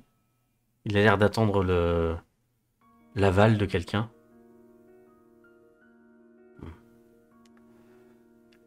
Il met les mains sur sa tête. Et il se met au sol. Euh, question, euh, description, euh, Hector. Est-ce que j'ai l'air plus tanké que toi d'un point de vue physique? Euh, oui, 100%. Alors, je, te laisse aller chercher le deuxième.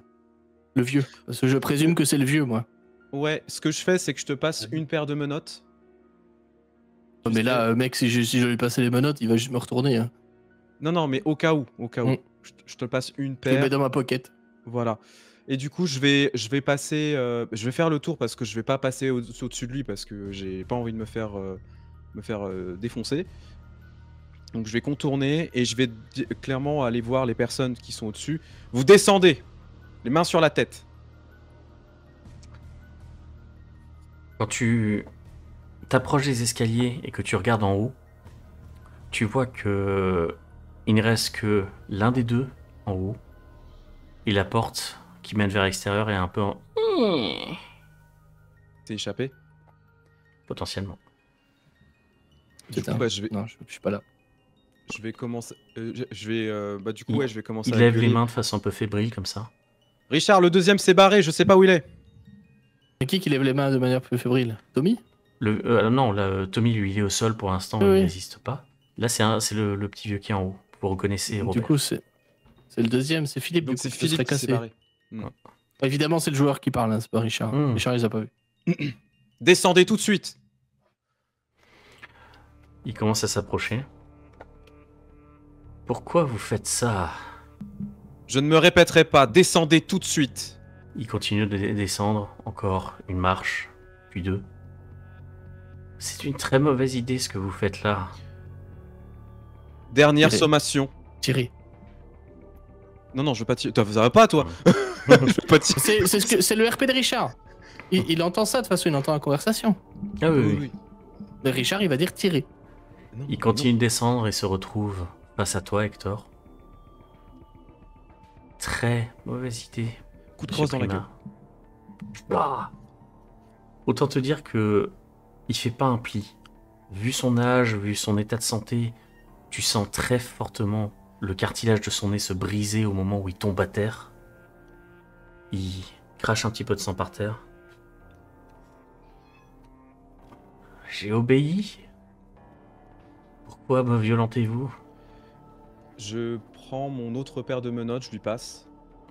Aïe Il est actuellement menotté. Richard, sécurisez la position, je vais essayer de monter pour voir s'il n'y a pas le deuxième. Juste que je sache, est-ce que, vous avez attaché Tommy ou vous l'avez juste gardé à terre Non, non, moi. Il, le garde en, fait, pour l'instant. J'avais trop peur qu'il me bolosse si jamais je tentais quoi que ce soit parce qu'il est beaucoup plus fort que moi. Donc, euh, puis mhm. Richard, euh, bon, il est peut-être plus tanké que Hector, mais c'est pas, pas un athlète, quoi, c'est pas un lutteur. Hein. Mhm. Euh, voilà. Par contre, avec les flingues, il est à l'aise hein, pour le coup. Avec, il, il, maîtrise les flingues, c'est pas la question.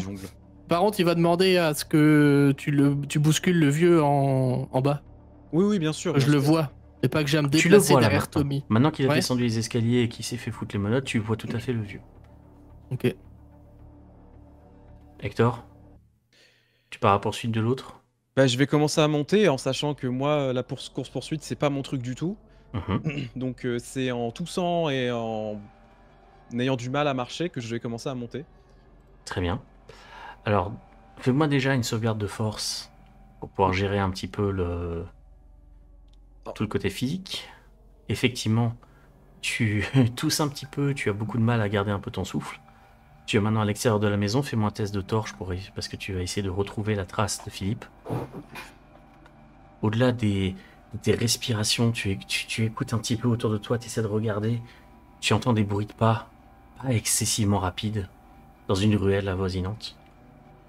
Tu t'y diriges, tu vois Philippe qui s'éloigne avec un petit peu un air de panique. Il regarde derrière lui, il se voit et il commence à essayer d'accélérer le pas, mais il est pas excessivement rapide. Je suis pas plus rapide. Mmh. Non, mais il faut, faut, être mmh, réaliste. Mmh, pour le coup.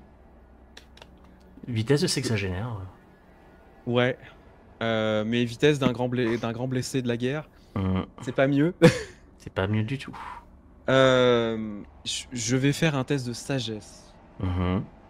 Si je le rate, je lui tire dans la jambe. Allez.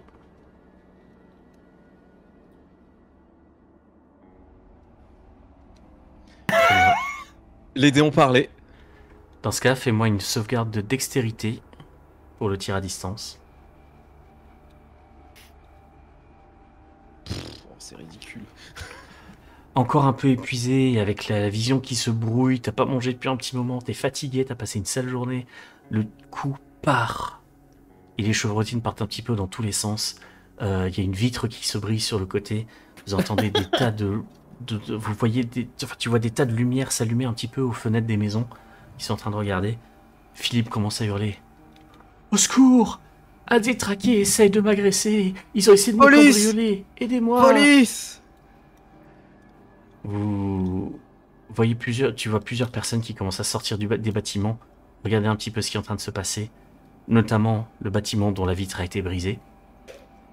Pendant ce temps, Eric, tu es en train d'avancer délicatement pour l'instant. L'homme en face de toi ne t'a pas vu. Oui Alors, je vais ranger mon flingue et mhm. sortir ma matraque parce que justement, je veux le neutraliser. Ok. Je veux pas le tuer. Ça marche. Tu commences à t'approcher. Est-ce que tu peux, s'il te plaît, me lancer Hmm. Lance-moi un D6. Juste lance-moi un D6. Avec un lancer custom. Ah ouais, je suis dessus. 10. Matraque en main, tu es prêt à l'appréhender. Quand derrière toi tu entends un coup de feu. Immédiatement, l'homme se retourne un peu en panique et te voit et met la main à sa ceinture. Qu'est-ce que tu fais? Euh, je me jette sur lui pour lui mettre un, un coup au niveau du bras pour l'empêcher d'attraper euh, ce qu'il voudrait attraper. Tu vois cet homme moche, le nez aplati, la taille un petit peu écrasée sur lui-même, qui, a l'air d'être vraiment euh, dérangeant à voir. Tu te jettes sur lui immédiatement, fais-moi une sauvegarde de force s'il te plaît. Ok. si jamais on en a, on en vient.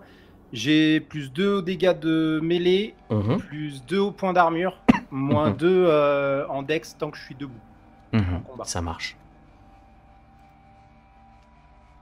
Oh putain Tu te jettes sur lui, mais pas suffisamment vite. Il a le temps de sortir son revolver et de tirer deux coups en ta direction. Rapide. Pas vraiment visé, droit dans le bide. Lance-moi ton dé de vie deux fois, s'il te plaît. Alors, euh, j'ai un gilet pare-balles qui peut annuler les dégâts. Qui peut annuler entièrement les dégâts? Euh, Tu m'as mis euh, une fois. Ok. Le premier gilet pare-balles, tu m'as juste mis one shot. on a juste écrit one shot, mais du coup, je pense que c'est annuler les dégâts one shot. Au pire, une balle si tu veux. Ouais, le premier dégât va être entièrement absorbé. Il t'est pris un petit peu comme ça de, de, de, cours et t'as le souffle un peu coupé. Lance-moi ton déduit une fois. Ok. Échec, il a diminué. Tu as la balle qui passe à travers une des ouvertures et qui te tape, qui te tape quelque part au niveau des côtes. Tu commences à saigner, mais tu es face à celui-là. Qu'est-ce que tu fais? C'est ton tour. Je, je, le matraque. Je continue. Tu euh, Sauvegarde de force. Ouais.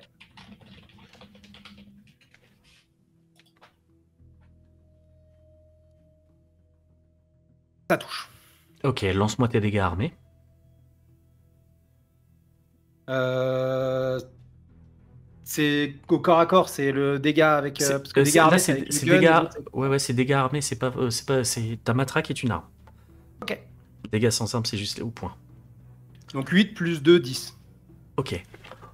Oh, tu lui donnes un coup en travers du visage, il se retrouve projeté à terre, et son visage qui était déjà déformé et dégoûtant déjà au départ, euh, et encore plus immonde.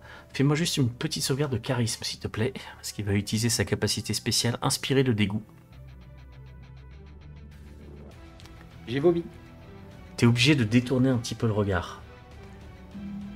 Il va en profiter pour essayer de t'attaquer. Euh, fais-moi une sauvegarde de dextérité, s'il te plaît, pour éviter les coups de feu. Il va tirer deux fois. La première, tu te jettes. donc même avec le ah plus 2, ça fait 3.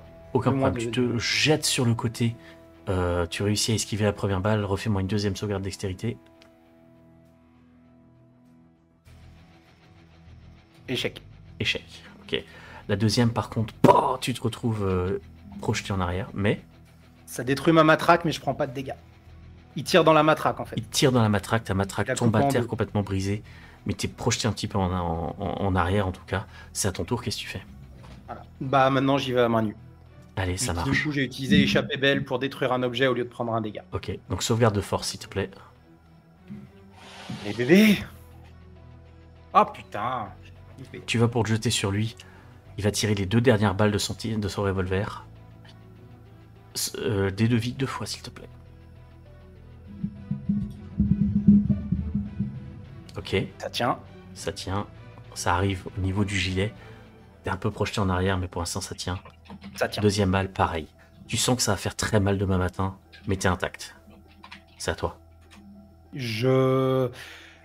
Là, c'est. J'ai pris trois balles. J'en ai mhm. pris qu'une, mais il y en a eu trois. Mhm. C'est vraiment. Euh, presque un retour de, la guerre et tout. Là, c'est lui ou moi. Mm. Et je vais me jeter dessus avec tout ce que j'ai. Euh, Vas-y. Ce sera une avalanche de coups tant qu'il tombe pas dans les pommes. Sauvegarde de force. Putain. Mm. Il a malheureusement pas euh, de balles restantes. il va être obligé de recharger son flingue. Du coup, il le jette un peu de côté et il va pour te décocher un point massif, violent en ta direction. Euh, lance-moi le dévi une fois. Eh, eh.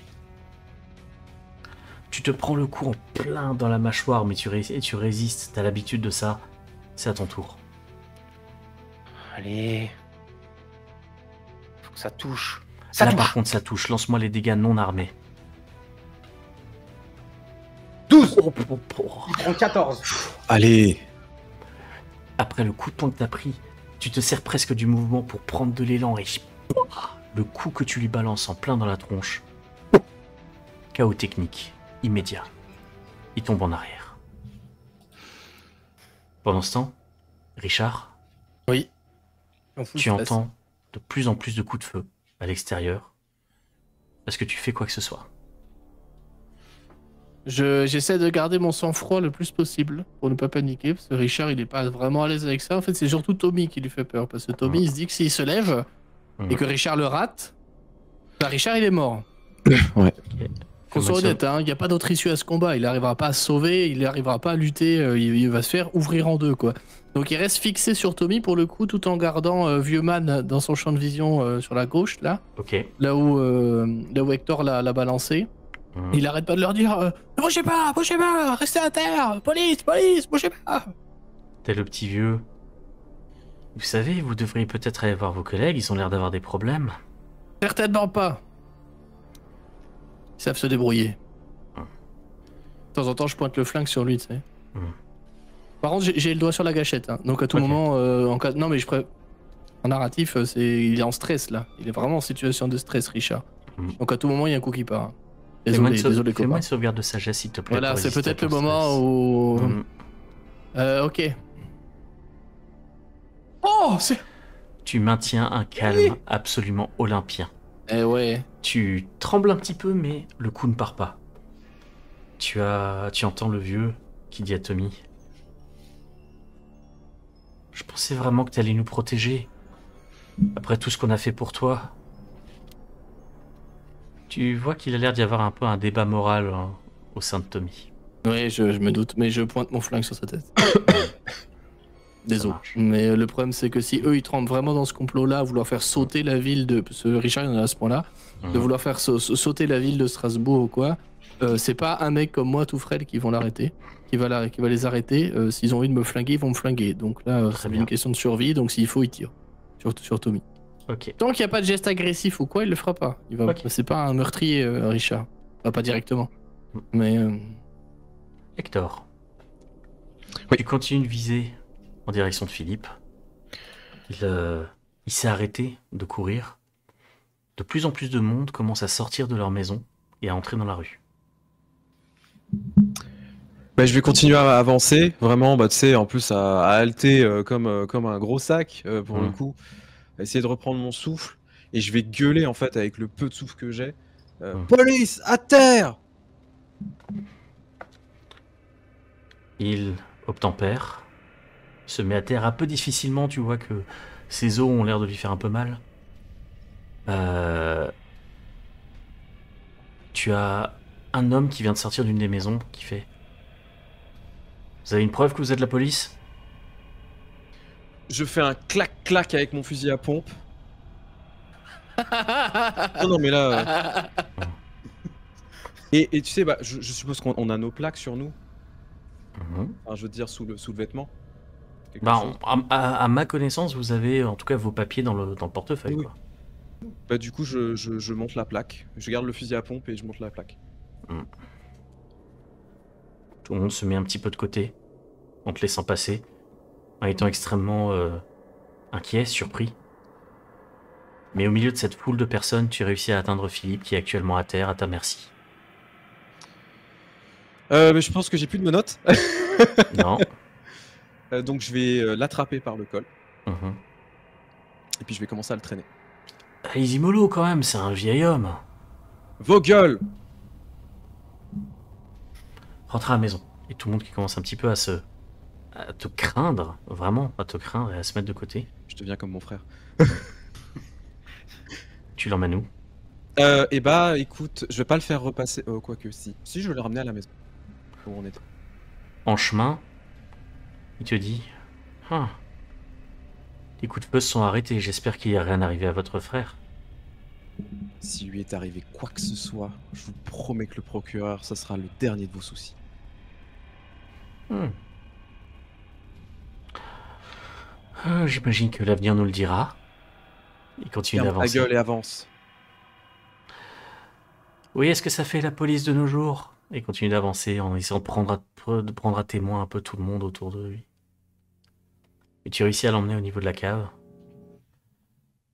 Richard tu entends le bruit de la porte de la maison qui s'ouvre. Tremble un peu. Richard, tout va bien? Ah, C'est vous. Ça va. Je les ai pas menottés, et ils n'ont pas bougé. Ok. J'ai récupéré l'autre. Tu vas avancer bien gentiment. Et tu vas te mettre à terre. Très bien, monsieur. Il descend les escaliers et se met à terre. En se mettant à terre, il regarde Tommy, il fait Tu sais, tu nous déçois beaucoup. On attendait plus de toi. Coup de crosse dans la gueule, pour qu'il ferme sa gueule. Ok, fais-moi une sauvegarde de force. Ah, il me saoule. Il me saoule. Je suis désolé.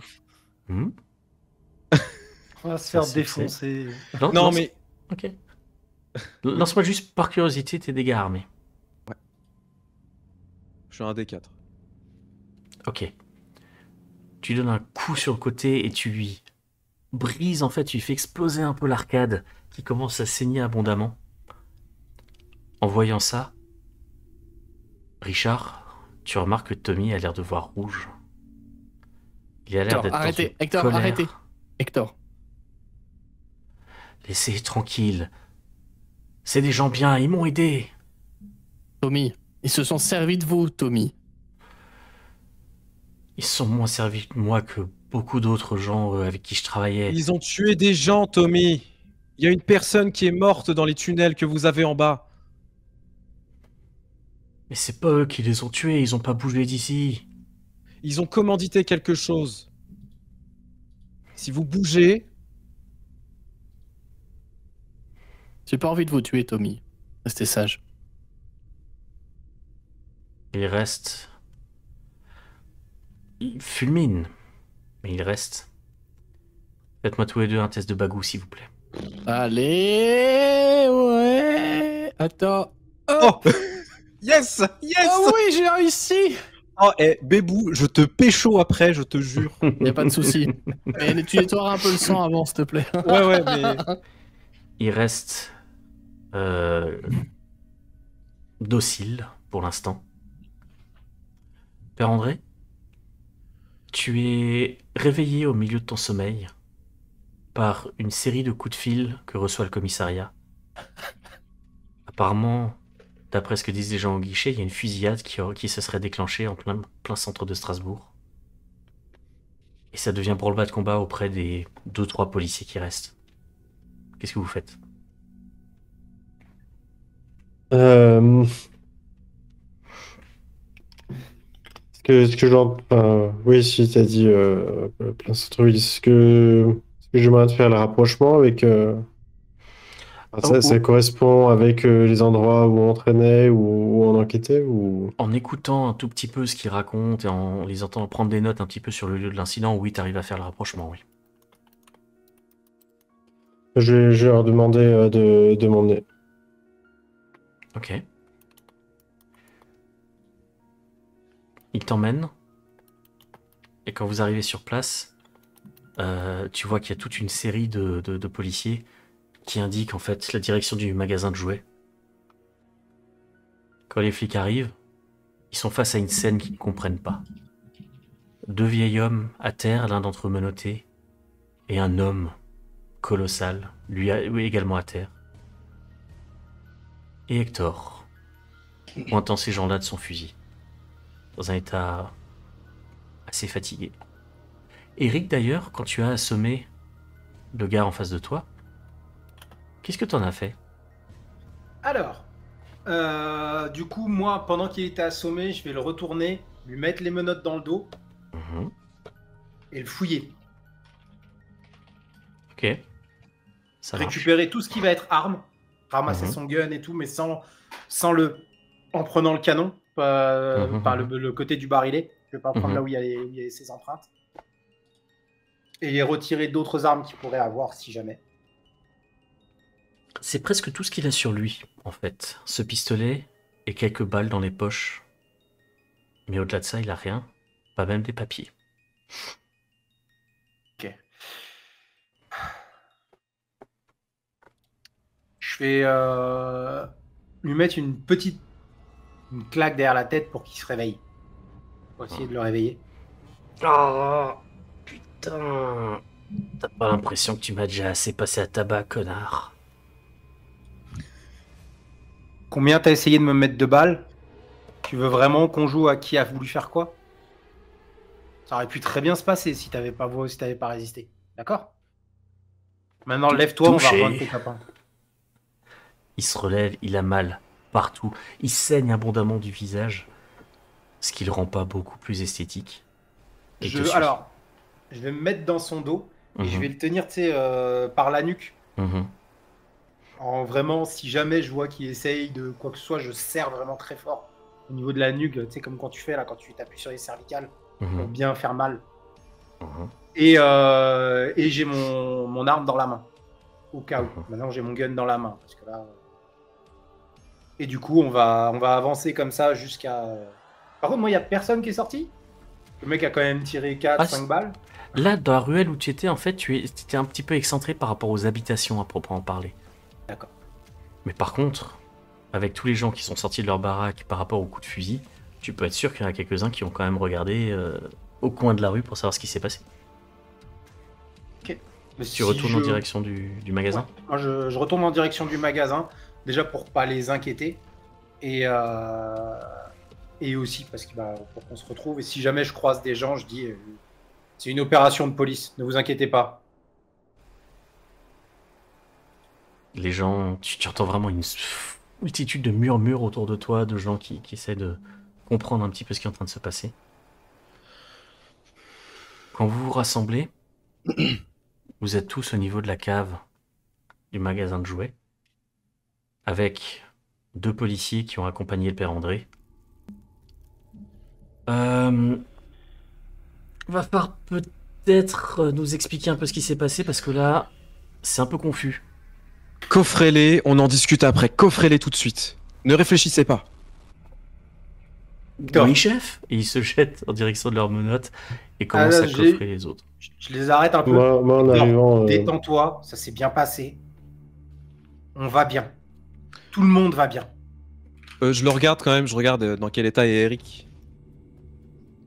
Je, je cache J'essaye de. Je, referme mon manteau. Non, non, non, mais eh, tu, fais, tu l'as fait pas un médecin. Tu l'as fait pas un médecin, s'il te plaît. Oui, mais voilà. Je te dis, pour l'instant, tout va bien. Messieurs, ces hommes-là, euh, il y a un cadavre dans des tunnels qu'ils ont créés sous leur maison. Arrêtez-les pour crime. Cet homme a essayé de me tuer. Nous allons les emmener au poste. Et je vais pointer Tommy. Et cet homme travaille avec eux, mais je ne suis pas sûr qu'il soit coupable en soi. Et du coup, on l'embarque ou pas, Oui, vous l'emmenez. Mais ne le brusquez pas. Il l'aide un peu à se relever. Quand il, se relève, t'as les policiers qui prennent la pleine conscience de la taille de ce gars-là. Il regarde un petit peu. vous avez raison, on va pas le brusquer. Euh, par, ici, monsieur. Je regarde Tommy de droit dans les yeux au moment où il passe à côté de moi. Écoute-moi bien. Ça s'est mal passé pour eux. Ça s'est mal passé pour lui. Je montre le gars que j'ai démoli. S'il te plaît, reste calme et tout se passera bien pour toi. D'accord? Il hoche la tête. Suis-les. Il accompagne le policier. Les primars, faites-moi tous les deux un test de bagou, s'il vous plaît. Oh, tout pile. Mieux... Non, c'est raté. Le père André voulait agir. Père André, on a entendu Vega dire. C'est en arrivant dans le magasin, du coup, c'est un peu tard. Non, mais vas-y, dis-moi. On peut incanter Redcon, il n'y a pas de souci. Vas-y, dis oui. Euh... je voulais simplement dire qu'en arrivant dans le magasin, euh, enfin, il réagissait, le père André réagissait au fait, au, au comment, au fait que euh, bah, qu'il avait craint, euh, qu'il avait pour vie du fait qu'il savait qu'il y avait une, fusillade. D'ailleurs, en te rapprochant de la, de la baraque, la simple idée de te rapprocher de cette cave te met assez mal à l'aise. Mais en restant un tout petit peu en retrait, du coup, tu finis par voir tes trois camarades remonter dans différents états de fatigue d'un côté, blessure de l'autre, panique du troisième. Et vous êtes maintenant à l'extérieur, en direction du commissariat, où vous avez la possibilité de passer la nuit si vous le souhaitez. Oui, oui, clairement. Je t'en supplie. ouais, non. Richard, toi également? Non, je vais dormir chez moi. Très bien. Parce que demain matin, euh, si j'arrive à me lever tôt, je vais aller voir des potes. Très bien. Pour une petite opération chez Monsieur Bonjean. Ok. Pas de problème. Clairement. Oui. Donnez-moi le fusil, s'il vous plaît. Ah, pardon. c'est trop. C'est de très bons modèles, vous comprenez. Euh. je regarde le numéro de série, c'est probablement un que j'ai vendu à un moment. J'en sais rien, je dis probablement, mais j'en sais rien. Au vu de ce qu'avait dit euh, l'homme dans l'escalier, faites attention à vous. Je vous ma veste et je lui montre mon, mon flingue qui est dedans. Pas de problème. Je sais me rendre discret. Alors à demain. C'est juste que j'ai des choses à faire demain matin d'urgence et euh, c'est plus près de chez moi. C'est tout. Le chemin se sépare et vous profitez chacun d'une nuit de repos assez méritée. Vous pouvez donc refaire monter d'un cran torche ou bagou pour votre nuit de repos. Ouais, ce sera torche. bagou. Très bien. Euh, comment ça se passe au niveau des PV Alors, au niveau des PV, il faut que tu prennes un petit peu de temps pour te soigner ou que quelqu'un t'aide justement à récupérer des points de vie. Et là, moi je, peux vois qu'Hector, il fait un truc. Je peux faire euh, soigner un des 8. Dès qu'on sera tous les deux euh, au commissariat, que mmh. tous les deux, mmh. je vais commencer à un peu plus m'affaler sur toi. Tu vas sentir que j'essayais de garder la face depuis le début, mais que je commence à accuser le coup, mine de rien. J'ai quand même pris 3 balles dans le buffet, donc une, dans 4 balles dans le buffet, donc une qui a touché. Donc euh, voilà. Les autres, c'est des échymoses, mais c'est quand même ça. Du coup, Hector, tu disais c'est un D8 tes soins? Ouais, alors soit un D8, soit un niveau de D de santé. Ok. fonction.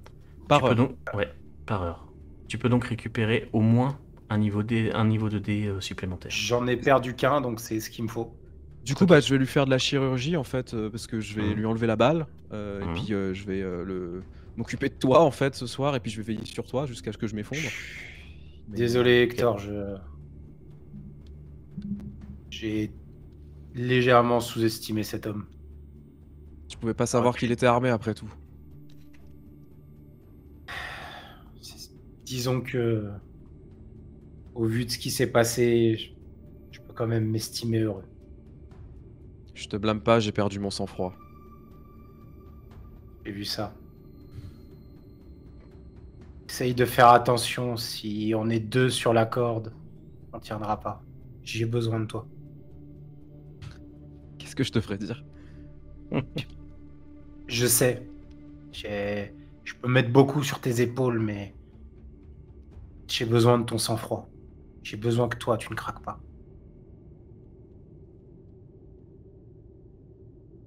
Si t'es pas là, rien. Je sais pas où est-ce que j'irai. Je sais pas jusqu'où j'irai. Très bien. Je pense que je vais sortir euh, une bonne bouteille de chartreuse pour faire un petit clin d'œil à Reloc dans le bureau et je pense qu'on va se pinter la gueule. Ça m'aidera à dormir plus facilement. exactement. Très bien. Bien évidemment, Père André est invité s'il veut faire une beuverie avec nous. Et il va, il va prendre un verre, mais euh, il faut pas, faut pas abuser des bonnes choses. Il a bien raison. C'est un péché. Quand le soleil se lève sur la journée du samedi 11 septembre, Père André, vu que vous êtes celui qui a été le plus affecté par la question, est-ce que vous, voulez rester actif dans l'investigation pour aujourd'hui ou prendre une journée de repos pour essayer de reprendre un peu vos esprits? Cette question s'applique à tous, mais là, en termes de santé mentale, c'est vrai que c'est le père André qui est un peu plus sur la corde. Je préfère demander. Euh, pense qu'il serait. André n'a pas, pas, envie de rester inactif, mais d'un autre côté, c'est ce qui est le plus raisonnable, euh, qui passe plus efficace par la suite.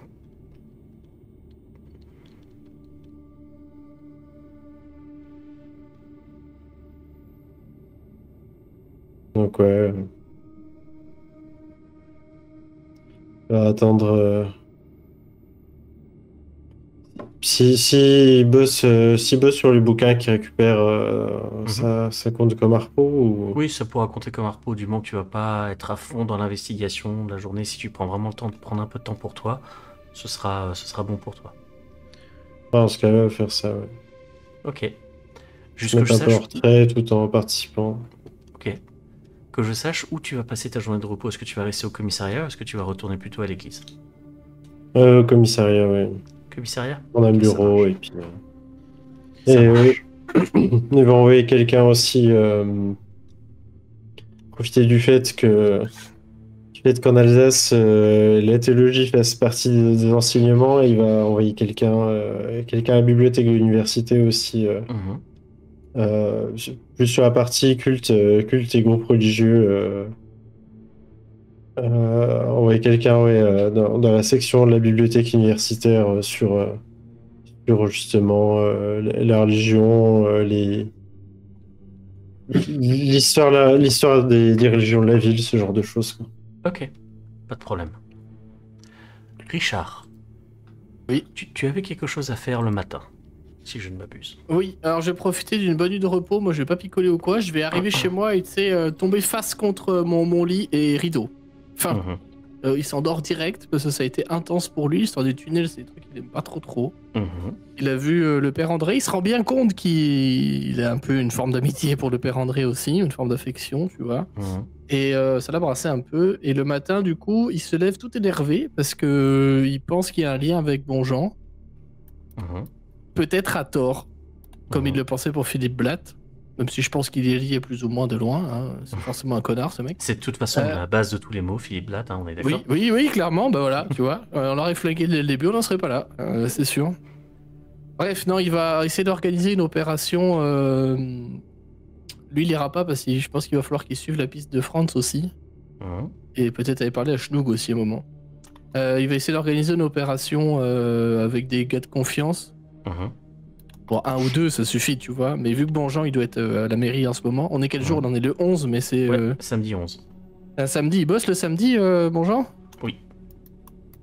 Ben, je vais demander qu'ils aillent chez lui. Uh-huh. Euh, putain, ouais, serait quand même plus simple. Je te demande sous, sous quel délai tu as besoin des résultats? Tout de suite. Aujourd'hui. C'est hyper urgent. Et j'hésite pas à taper dans l'enveloppe que m'a donné Bonjean pour les payer. Ok. Quitte à ce qu'il m'en reste pas, mais là, on est sur un complot qui peut faire sauter Strasbourg. Enfin, des gens qui veulent faire sauter Strasbourg, c'est quand même moyen ouf pour les affaires. Uh-huh. Euh, puis pour les gens aussi. Et du coup, il va. Euh, je vais leur demander d'aller fouiller chez, euh, chez Bonjean, pour le coup. Mhm. En essayant de faire le moins de désordre possible. Et trouver éventuellement des correspondances avec un certain Oudvit. Ok, on va chercher ça. Euh, si on trouve des trucs, est-ce que juste on te dit qu'on a trouvé ou est-ce qu'on te les ramène? Le joueur réfléchit. le PNJ attend. Oui, il attend un peu avec son point d'interrogation là. Euh, ben, j'en sais rien. Parce que le mieux ce serait qu'il les copie, mais je sais pas s'ils auront le temps. Si c'est urgent, ça risque d'être compliqué. Ouais, et ben. Après, tu as la possibilité d'aller avec eux si tu veux. Bah dans ce cas, euh, oui. C'est ton choix. Euh, je vais aller avec eux, ce sera le plus simple en fait. Je... Ce sera le plus simple. Mais je, je veux bien faire accompagner quand même. Mais euh, le plus simple, ce serait que j'aille avec eux. Parce que je sais ce que je cherche et je sais ce que je dois trouver et si je dois trouver quelque chose. Sachant qu'il est au courant qu'il peut faire chou blanc, pour le coup. Oui, ça marche. Il est en colère parce qu'il voit que Bonjean, il est effectivement partout. Là où on va, il y a toujours un lien avec Bonjean et il veut être sûr euh, de ce que lui disait euh, Hector tout à l'heure. Est-ce que mhm. c'est Undvit qui se fait passer pour Bonjean ou est-ce que c'est vraiment Bonjean qui est lié à ça? Il pense que Bonjean n'est pas lié à ça, quand même, après réflexion et nuit de sommeil. Mais il voudrait mhm. s'en assurer et tant pis, il va aller chez lui. D'accord. Désolé, les autres, vous allez peut-être me détester encore, mais. Non, non, non, non, vas-y, vas-y. T'as 100% raison en vrai. Hein. De, joueur à joueur, je pense que c'est mieux de clear cet alibi-là en fait. Oui, non, mais t'as raison. Toi, tu ça. nous, nous, on va te gêner dans des trucs comme ça. Donc, euh... fais-le, hein, fais-le. C'est très t'as fait pour euh, Umba, Tavan et tout. Il euh, y a que toi qui pouvais le faire pour le. Mm. Donc, je vais aller faire ça. Tant pis. Il m'attendra au café le matin, euh, voilà. Et ce que je vais faire après, par contre, euh, c'est dans tous les cas repasser au commissariat, voir dans quel état est le père André. Une fois que j'aurai fait mon, opération, si je suis encore vivant après. D'accord. je, le dis plus à titre d'info pour toi, MJ. Mhm, ça me convient très bien. Euh, je vais aller voir le père André parce que je l'ai vu dans un état pas possible et euh, je vais voir comment il va. Ok. tu te diriges en direction de tes, de tes, comment dire, alliés. C'est la MIF. Et te, ouais, la MIF, voilà. Euh, et te prépare du coup à entrer chez Charles. Ouais. Tu as avec toi deux gars, Joseph et Jean-Marie. Gars efficaces. Gars Je vais faire trop de mal sur ce prénom, c'est pas une bonne idée.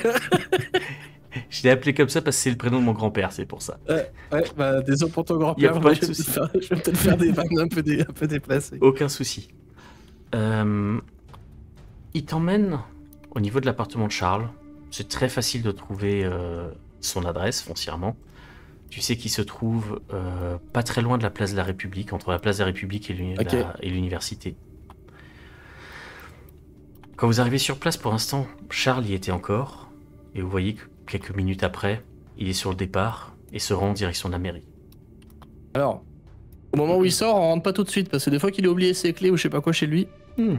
Parce que moi, c'est un truc qui m'arrive tous les jours dans la vraie vie, donc euh, je connais les bails. Après avoir attendu un temps suffisamment raisonnable, vous arrivez dans le bâtiment. L'appartement de Charles est au deuxième étage.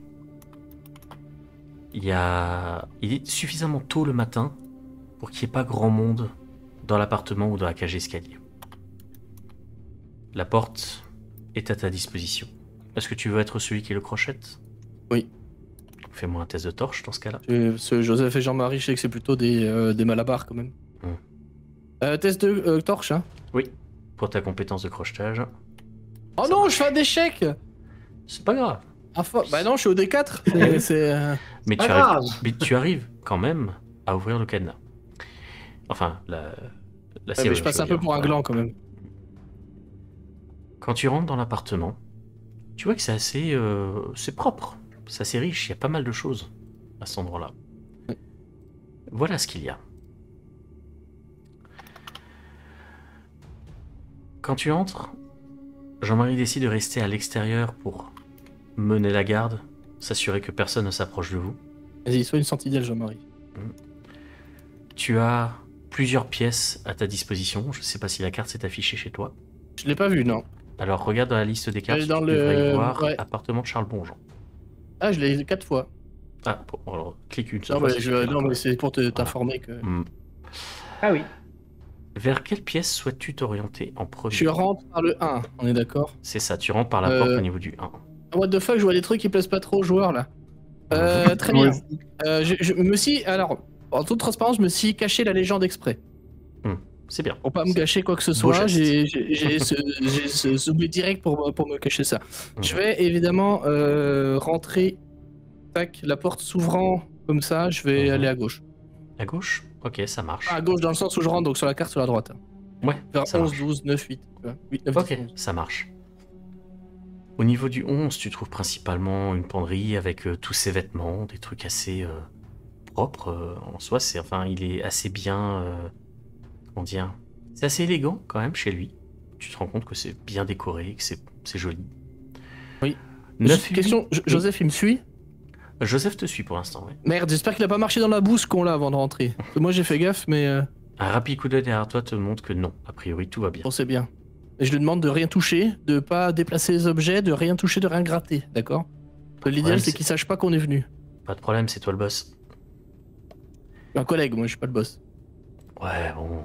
Pour aujourd'hui, t'es le boss. Bon, si ça te va alors. Eh ben, Joseph, tu restes tranquille, d'accord? Fais pas le con. Ça marche. Merci je continue d'avancer. La grande partie sur la droite n'est pas très passionnante. T'as une cuisine, un cellier, enfin un peu le nécessaire d'un bon, petit appartement. Même la chambre à coucher en elle-même, en fait, est assez euh, basique. Il y a ses vêtements, son lit, ça a l'air confortable. Là où tu commences un peu à t'inquiéter, c'est quand tu rentres dans la pièce 6. Mais ouais, je m'en doutais. Évidemment. Tu, tu y vois une maquette. Une maquette représentant Strasbourg. Une maquette pas exactement représentant Strasbourg. Tu y trouves le même genre de d'altération et de différence que tu as vu chez Ambrosius. Une troisième branche à la grande percée est présente. Et la ville est très légèrement déformée. Attends, attends, j'ai bien compris, c'est la même maquette que chez Ambrosius pas exactement la même. Il y a des, mais le même type. films différentes, mais c'est le même type de maquette. Une maquette représentant Strasbourg, très légèrement modifiée, et où tu vois très clairement trois grands axes, la grande percée, et une troisième branche inexistante. En continuant. J'ai des blancs, mais je, prends des notes en même temps. Ouais, ouais, pas de souci. Je dis rien. La maquette en elle-même est très belle. En Continuons un petit peu plus loin, tu arrives au niveau du niveau 5, qui semble être un bureau. Où là, il y a plusieurs choses qui t'attirent un peu l'œil. Tu vois sur une étagère une cloche en verre, à l'intérieur duquel se trouve un crâne. Non. Un crâne qui t'avait l'air presque humain, si ce n'était des rangées de canines tout du long. Putain de merde sur la table, sur la table du bureau, tu y trouves un livre intitulé La ville en jaune. Tu vois qu'il y a un petit bout de papier qui en dépasse. On l'a déjà vu ce bouquin en plus chez Ambrosius. C'est ça, hein? C'est le même livre que tu as trouvé chez Ambrosius, ouais. C'est pas le même exemplaire? C'est pas le même exemplaire. Ouais, ok. Et il y a une petite lettre qui en dépasse. Je j'ouvre délicatement, j'ai des gants. Mhm. Parce que j'ai vu, mes, vu mes potes flics faire plein de trucs bizarres avec les empreintes digitales, du coup j'ai peur. Donc du coup j'ouvre avec des gants et euh, je lis la lettre. Sachant que je veille à ce que tu sais, le livre ne se décale pas sur le bureau, etc., qu'il reste au même endroit. Alors je fais le plus gaffe, hein, je peux me tromper, il a pas de problème. La lettre que tu y trouves est la suivante. 13 mars 1919. Cher ami, j'ai cherché pendant des semaines l'auteur du livre La ville en jaune sur ta demande. Je suis comme toi convaincu qu'il ne peut s'agir que d'un architecte avec de fabuleuses visions de surcroît. Malgré tout l'amour que je porte à ses idées, il m'est impossible de découvrir de qui il s'agit. Je continue mes recherches, mais je crains de plus en plus ne jamais les voir aboutir. Signé Félix. Et, tu reconnais un C'est le nom de l'architecte? Il y a un des architectes qui s'appelle Félix, tout à fait. Et tu, et tu y reconnais un symbole, euh, malheureusement beaucoup trop familier. Merde La lettre, euh, j'ai bien un calepin sur moi. Oui. Sachant que j'ai lu la lettre en ouvrant le bouquin, à la page où il y avait la lettre, et je n'ai pas. Mhm. Enfin, j'ai pris la lettre, je l'ai lu dans le livre, quoi, si tu veux. Mhm, mhm. Et euh, je la recopie sur un calepin. À la va-vite, hein, mais je recopie le texte de la lettre sur mon calepin. Très bien. Les tiroirs de son bureau, par contre, sont fermés.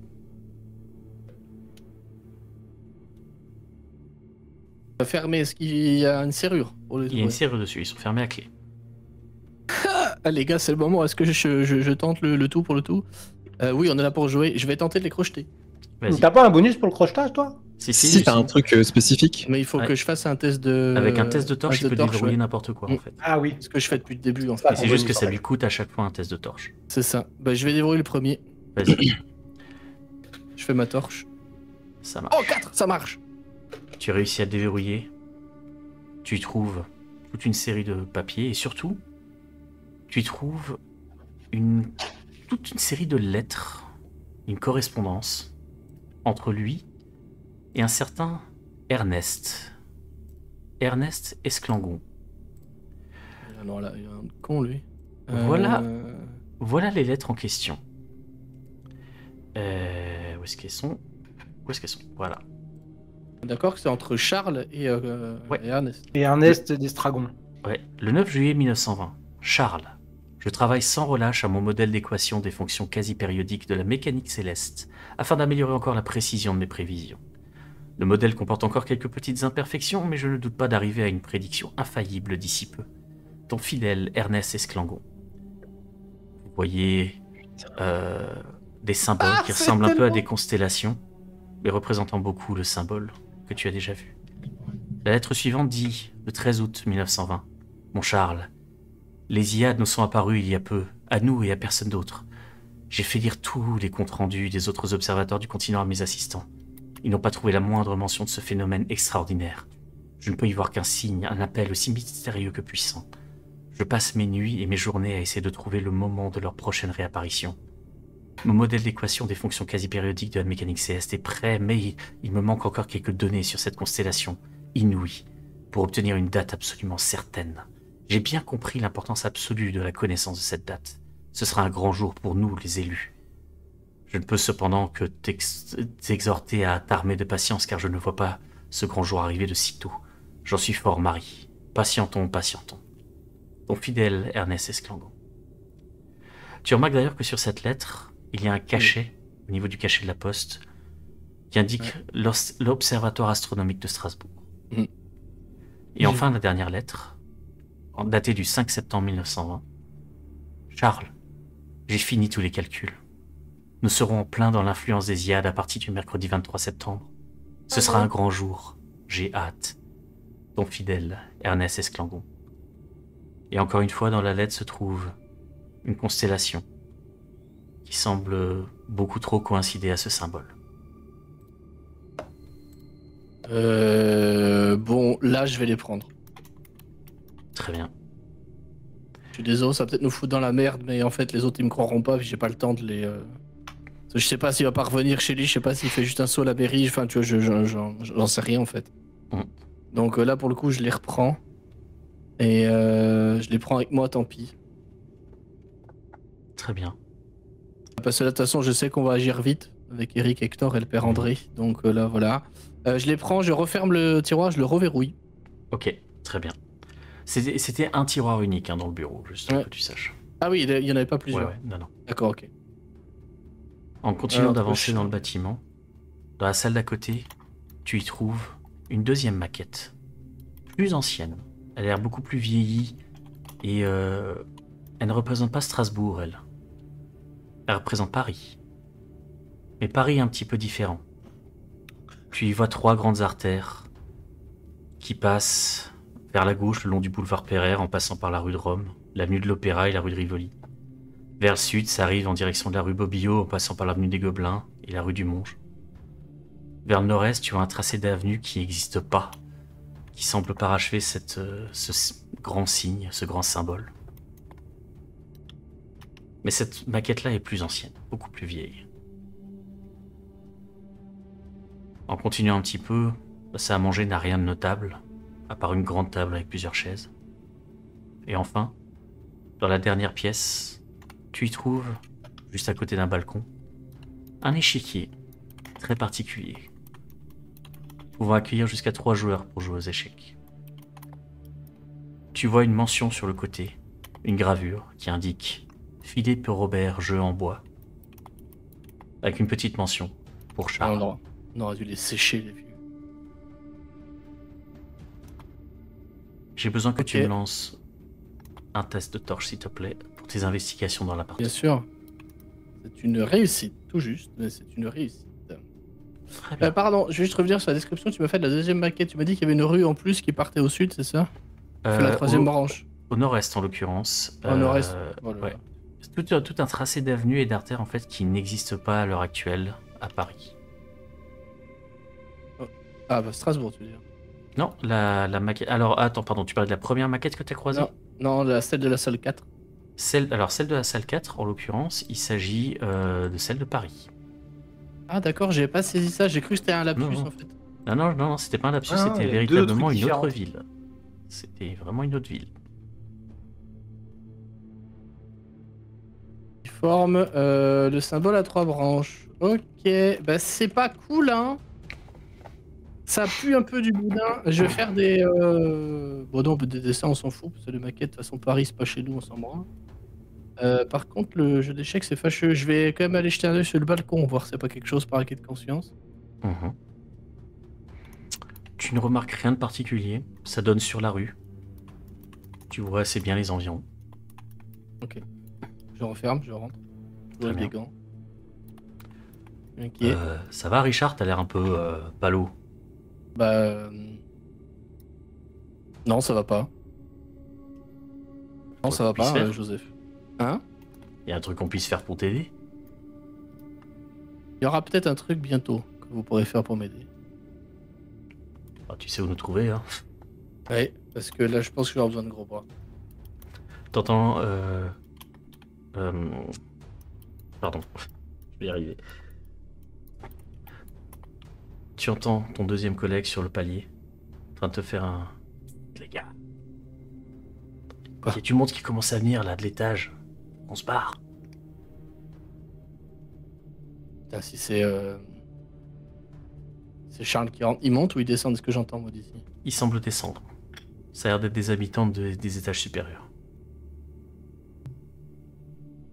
Je vais tirer euh, Jean-Marie par le col et le faire rentrer dans l'appart pour fermer la porte. Attends qu'il passe. Vous vous faites hyper discret. Ouais. Et je leur, je leur, intime avec un regard très euh, inquisiteur de hmm. fermer leur gueule. Parce que sinon, ça va très mal se passer pour eux. Ils aboient rien. Ils restent. De toute façon, j'ai des doses sur eux. Hein, donc, euh, puis maintenant, je suis pote avec les flics. Alors, autant dire que ça va pas chier longtemps. Hein. Au bout d'un moment, les bruits de pas s'éloignent. Vous êtes de nouveau relativement tranquille. Je fais un tour vite fait, voir si j'ai rien raté notamment dans les pièces 4, 5 et 6 pour suivre le plan. T'es assez sûr de n'avoir rien raté à cet, dans cet appartement? Tout ce qu'il y avait à trouver a été trouvé. Tout mais c'était plus un acquis de conscience. Euh, euh, question sur le crâne avant que je parte, il n'y avait pas, pas d'inscription, rien, pas de symbole que dalle, c'est juste un crâne avec des roses câlines quoi. C'est ça. Exactement. Euh, ça me plaît pas des masses. Juste une question, le... après je t'embête plus, je laisse mhm. aux autres. Euh, le, bouquin du livre en jaune, est-ce qu'il y a un mhm. auteur qui a écrit sur le, bouquin? Non. Non, il n'y a pas d'auteur dedans. Il y a juste l'indication, la ville en jaune. Ok, c'est tout. Il n'y a pas de. Non, parce qu'il disait qu'il cherchait l'auteur. En revanche, la couverture est la même. C'est toujours le dessin de Léo Schnoub. C'est le même, c'est le même livre, mais c'est juste pas le même exemplaire. C'est le même livre. Tu quittes donc l'appartement de. Je m'en vais, je paye grassement euh, mhm. Jean-Michel et Joseph. Jean-Marie, pardon. Il te une petite révérence bien, euh, bien théâtrale. Ah, c'est bon, n'en faites pas des caisses, les gars. Par contre, euh, tenez-vous prêts. Ok Armé ou pas? Soyez prêts à l'être. Ça marche. Euh, je peux pas trop en dire pour le moment parce que je manque encore de preuves tangibles, mais enfin, quoi que là, on vient d'en trouver quelques-unes. Bon. Et surtout, là, tu sais, je montre avec mon doigt inquisiteur devant eux. Mmh. Pas un putain de mots de là où on est venu aujourd'hui. Si vous voulez garder toutes vos dents, Dieu sait qu'il vous en reste pas beaucoup. Pas un putain de mot à qui que ce soit. D'accord? Que ce soit chez nous ou en dehors de chez nous. C'est pas de la magouille que je fais. Il se un petit peu et il fait Très bien, Majesté. Saoule, Jean-Marie, tu me saoules. Prendre pour un seigneur comme ça. On dirait rien. Je sais. Peut-être que ça les choque de me voir autant inquisiteur d'ailleurs. Ils, sont pris court, hein. ils ont pas l'habitude de te voir autant euh, sérieux sur le job en fait. Ouais. Quoi qu'il en soit. Merci les gars. Tu refais chemin vers le commissariat? Oui, et je cours, enfin je cours, je marche vite. Ok. Je, regarde peut-être au, détriment de, l'observation que je peux faire autour de moi, tu vois, mais je, vais mhm. vite rejoindre euh, Père André, voir comment il va. Parce que je pense que là, une paire de bras de plus, ce sera pas trop mal. Euh, donc, bah, on va lui mettre une petite claque et. Euh, hein en l'occurrence, il est au cul, ça va mieux. Et je, me rue vers lui, vers, je cherche Hector, Eric, je rassemble tout le monde dans une salle capitonnée, genre une salle d'interrogatoire, tu sais, où on n'entend rien de l'extérieur. Mhm. Et je leur dis, il faut qu'on parle. Et je vous laisse pas le choix. Vous voyez arriver un Richard euh, hyper agité. plus agité que d'habitude Beaucoup plus.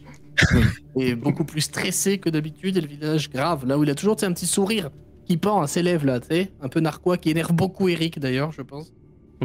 Oui. Euh, bah, quand tu vas arriver dans le bureau, tu vas voir, euh, surtout parce que je pense qu'on n'a pas forcément le même bureau que le, que le prêtre, mais en tout cas dans mon bureau, tu vas me voir donc torse nu avec un bandage et euh, des panses là où j'ai pris une balle. Et euh, un air un petit peu plus fatigué euh, quand même avec le temps sur mon visage. Et dès que tu vas arriver, je vais passer un, un t-shirt et une chemise. Qu'est-ce qui vous arrive? Faut qu'on parle, mais dans une salle sûre où on ne s'entendra pas. Avec Hector et avec André. On y va. Le père André. On y va, on y va, il reste avec nous ici. Mais euh, attention avec le père, de ce que me dit Hector, il, il est pas très stable. Il a prévu de se reposer aujourd'hui pour euh, récupérer un peu, on va dire. Mais je pense que là-dessus, on a besoin de tout le monde. Au moins qu'il le sache. On agira peut-être pas tout de suite, mais. Ok, ok. Il mérite au moins d'être au courant de ce que j'ai. Allons-y. Vous arrivez dans ce petit bureau, un petit peu isolé, pour, l'instant pas occupé. Il est surtout utilisé en général pour euh, les portraits robots, ce genre de choses. Donc tout le monde soit assis. Je me sers un verre de. Je sais pas, il y a de l'alcool dans le bureau Oui, il y a toujours de l'alcool. Très bien. Alors je me sers un grand verre, je le bois cul sec et euh, je tends la bouteille aux autres. Vous voulez? Il doit être 9h du matin. Hein. Mmh. J'ai fait une la chartreuse, ça va aller, c'est gentil. Les hommes de goût. bon. Qu'est-ce qui se passe, Richard? Il se trouve que j'ai mené mon enquête de mon côté. Bon, vous devez avoir l'habitude à force. Je regarde le père André, voir comment il va, quand même, avant de parler plus. Ça va, père André Vous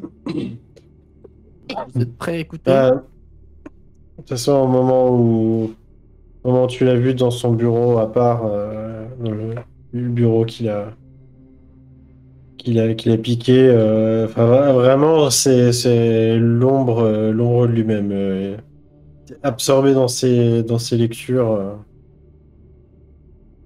pour essayer de pour essayer de, de, penser, penser à autre chose, paradoxalement, en continuant de lire quand même sur le sujet, mais en éloignant un peu. Parce que justement, vos lectures vont nous peut-être nous aider? Sincèrement. Je vais mettre sur la table les papiers que j'ai trouvés.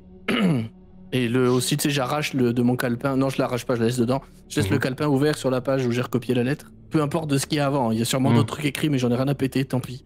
Je mets dessus. Euh, il se trouve que ce matin, j'ai été avec euh, ma famille. Chez Charles Bonjean. Son domicile, j'entends. Mhm. Je sais que vous êtes peut-être pas d'accord avec ça, gna gna gna gna gna, mais je pense que ça vaut le coup.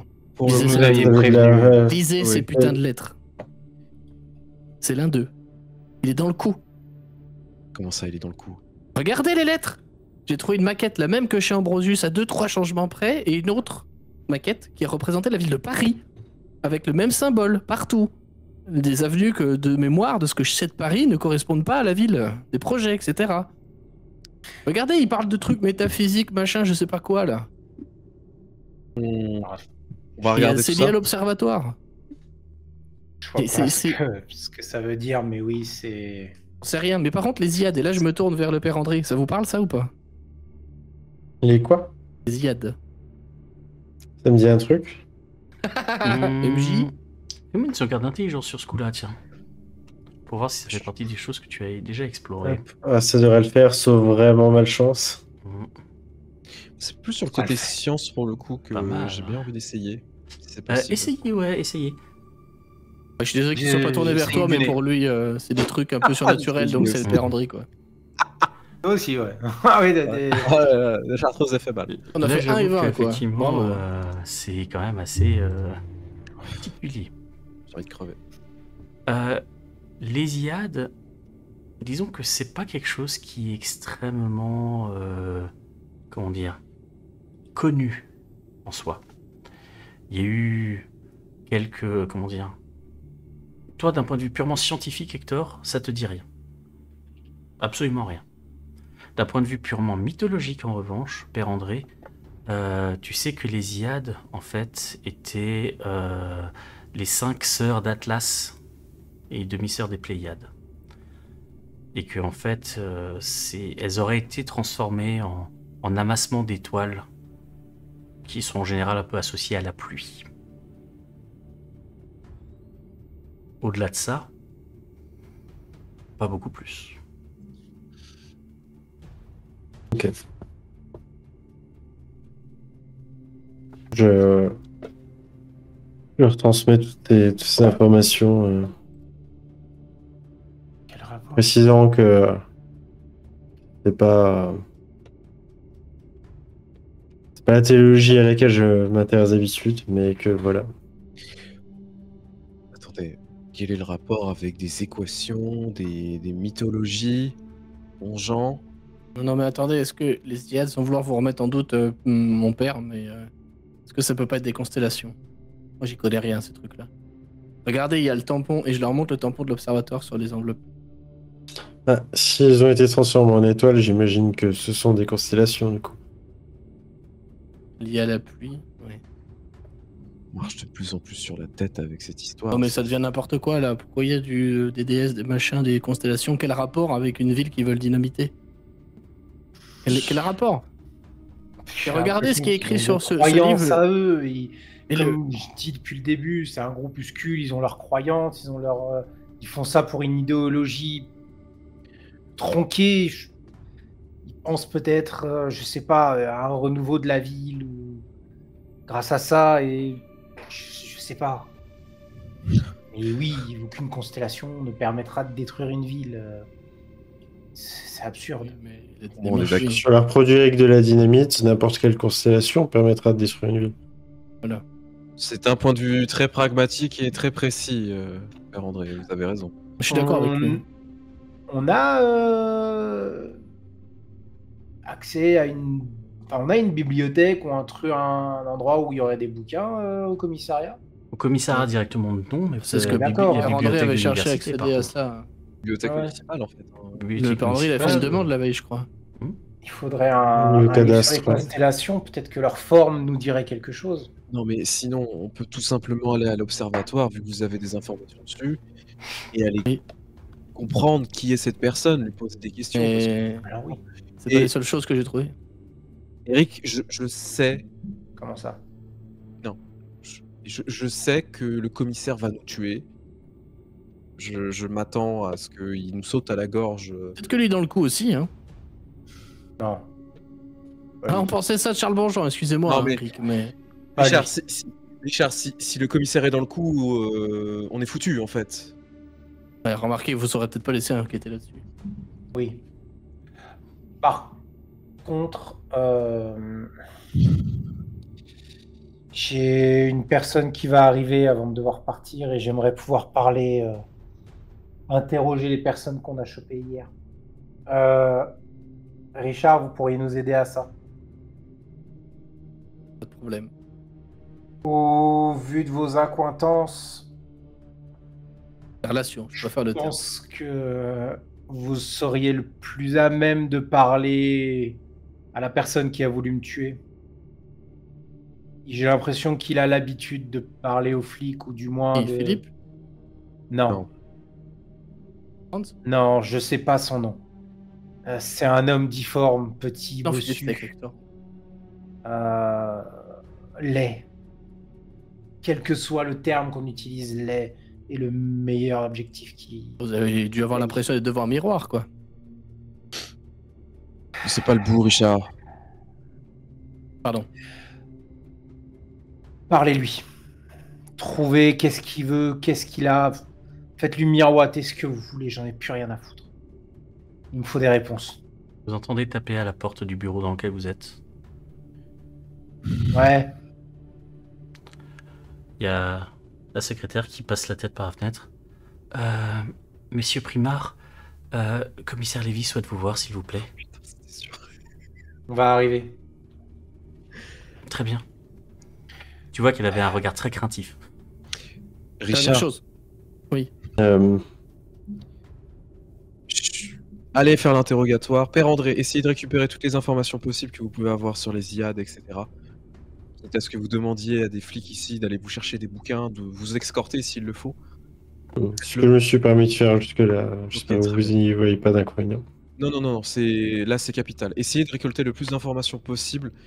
Et une fois que vous avez des informations, Richard comme Père André, on se retrouve. Oui, mais par contre, il y a. Euh... Oui, Père André. Mais du fait des informations qu'on a, est-ce que vous ne devriez pas euh, mettre la main sur euh, Bonjean c'est une chose qu'on va échanger avec le commissaire.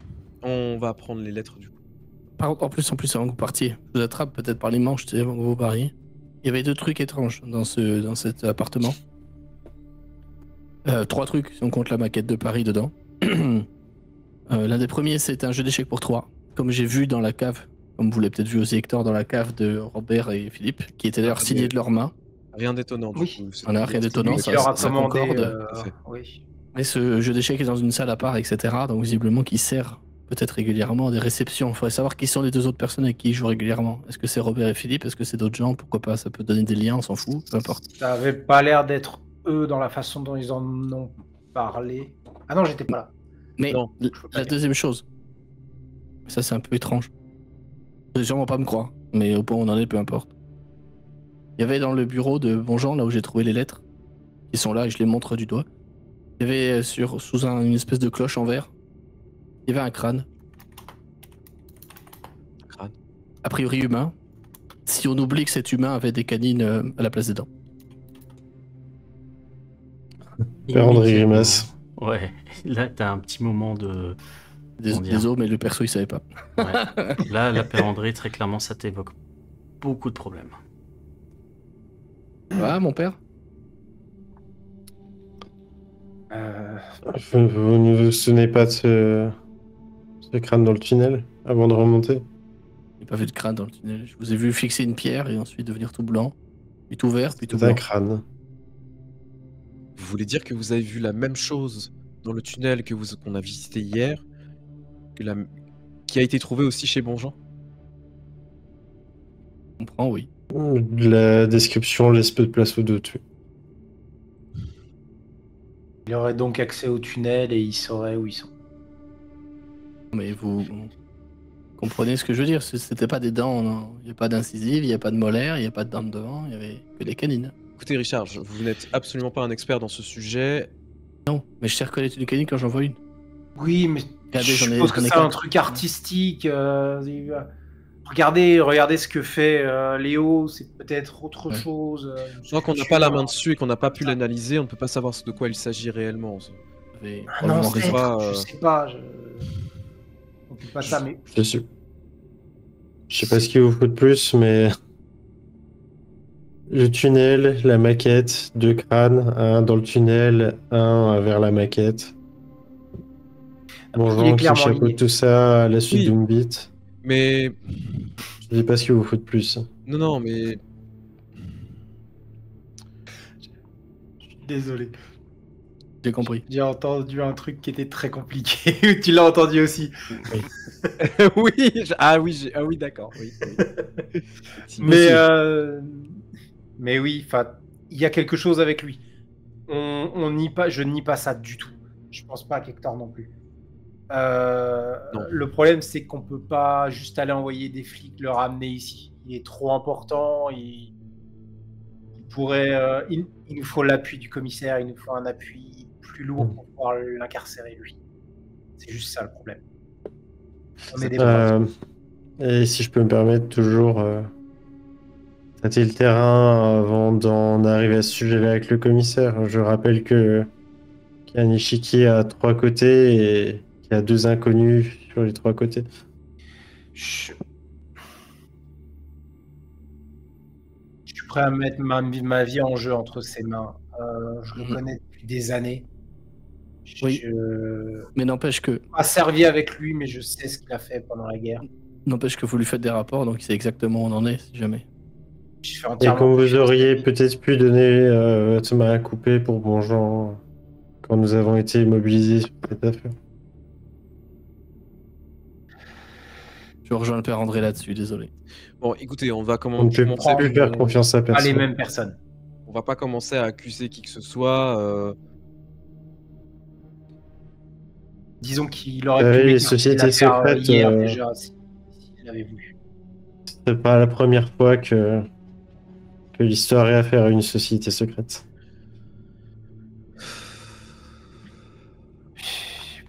Oui, euh, écoutez. Et vous savez, comme ces choses euh, peuvent être tentaculaires, euh, en tout cas du point de vue de la légende urbaine.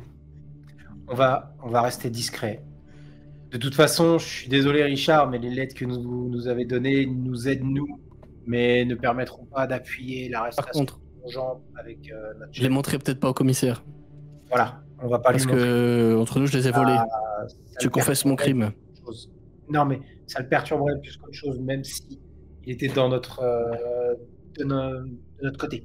Vous voulez les garder On va se concentrer sur les faits et essayer de ne pas, se faire virer. Ce peut-être mieux de les garder, ces lettres. Oui, gardez-les. Je pense que, en fait, je voulais vous les donner, mais je pense que ce serait mieux que sur ma possession. si je me fais attraper, au moins, euh, moi, je suis, le, je suis le client facile pour ça. en revanche, si vous, vous perdez l'enquête là-dessus, c'est fâcheux. Parce que très clairement, il y a des gens qui veulent faire sauter la ville. Et de ce que je comprends, c'est pour bientôt. Si ça coordonne avec l'élément de, de Ziad ou je sais pas quoi. On n'écartera pas de ça. Mais oui. Écoutez, on va aller voir ça. Euh, mon père, comme disait Hector, essayez de voir les renseignements que vous pouvez choper. Demandez n'importe quoi à n'importe qui. On a, pour l'instant, vous avez encore notre soutien tant qu'il fonctionne. Et vous, Richard, allez voir cet homme. On s'occupera, nous, des deux petits vieux. Père André, si vous souhaitez attendre que j'ai fini avec ce, type euh, moche, pour que je vous accompagne, pas de problème. Je, je vais rester ici, je vais faire marcher mon petit réseau d'influence. Et si vous avez besoin d'aide, n'hésitez pas. Moi aussi, j'ai un réseau d'influence. C'est bien aimable. Très bien. Hector et Eric, vous dirigez vers le bureau de Charles? Lévi? J'allais dire quoi Wow, c'est allé si vite Non, non. Il va avec un bélier portable, là, on fonce la porte. FBI, open up En vrai. Quand vous arrivez euh, dans son bureau, il est. Il vous tourne le dos, il est en train de regarder par la fenêtre en se tenant droit, les mains derrière le dos. Asseyez-vous, messieurs. Fermez la porte derrière vous. Je, je ferme la porte. Je grince un peu en m'asseyant. J'ai mal. Il se retourne vers vous, l'air euh, là, fatigué. Messieurs, dites-moi ce que je suis censé faire. Si vous étiez dans ma situation à l'heure actuelle, qu'est-ce que vous feriez? Nous écouterai. Très bien. Est-ce que, en vous écoutant, j'aurai une quelconque explication sur tout ce qui vient d'avoir lieu et sur la façon dont les choses ont eu lieu Vous aurez une explication partielle, parce que nous-mêmes, nous n'avons pas tout.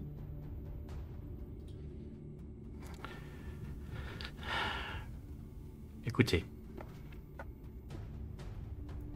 vous savez très bien que je vous fais confiance.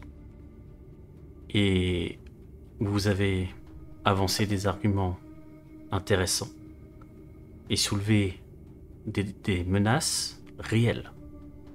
J'espère que vous êtes totalement conscient que je suis conscient de ça. Toutefois, il y a une façon de faire les choses. Il y a un ordre à suivre. Les choses doivent être faites proprement.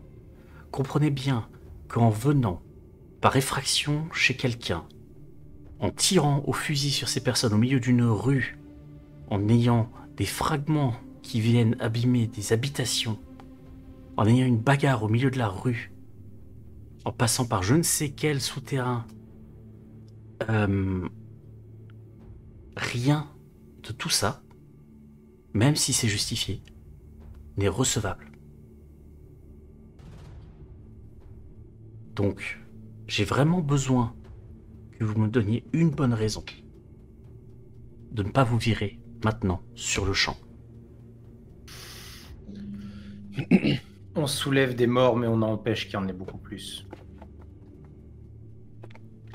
À chaque fois qu'on avance. Comment ça? À chaque fois qu'on avance, on trouve de, nouveaux, de nouvelles personnes qui ont été assassinées, meurtries, blessées par cette histoire. Cette histoire qui aurait dû être prise au sérieux il y a bien longtemps. Quelles autorités Cette histoire qui, malheureusement, touche la ville entière. Notre façon de faire n'est pas la bonne. Je suis totalement d'accord avec ça. Vous êtes obligé d'agir et de réagir comme vous le faites. J'en suis entièrement d'accord. Mais malheureusement, c'est nous sommes dans un temps de crise. Nous ne sommes pas dans une enquête classique. On a trouvé assez d'explosifs pour rayer combien de pâtés de maison, de, de pâtés de, oui, maison, de cette ville. On a soulevé combien de cadavres en combien de jours.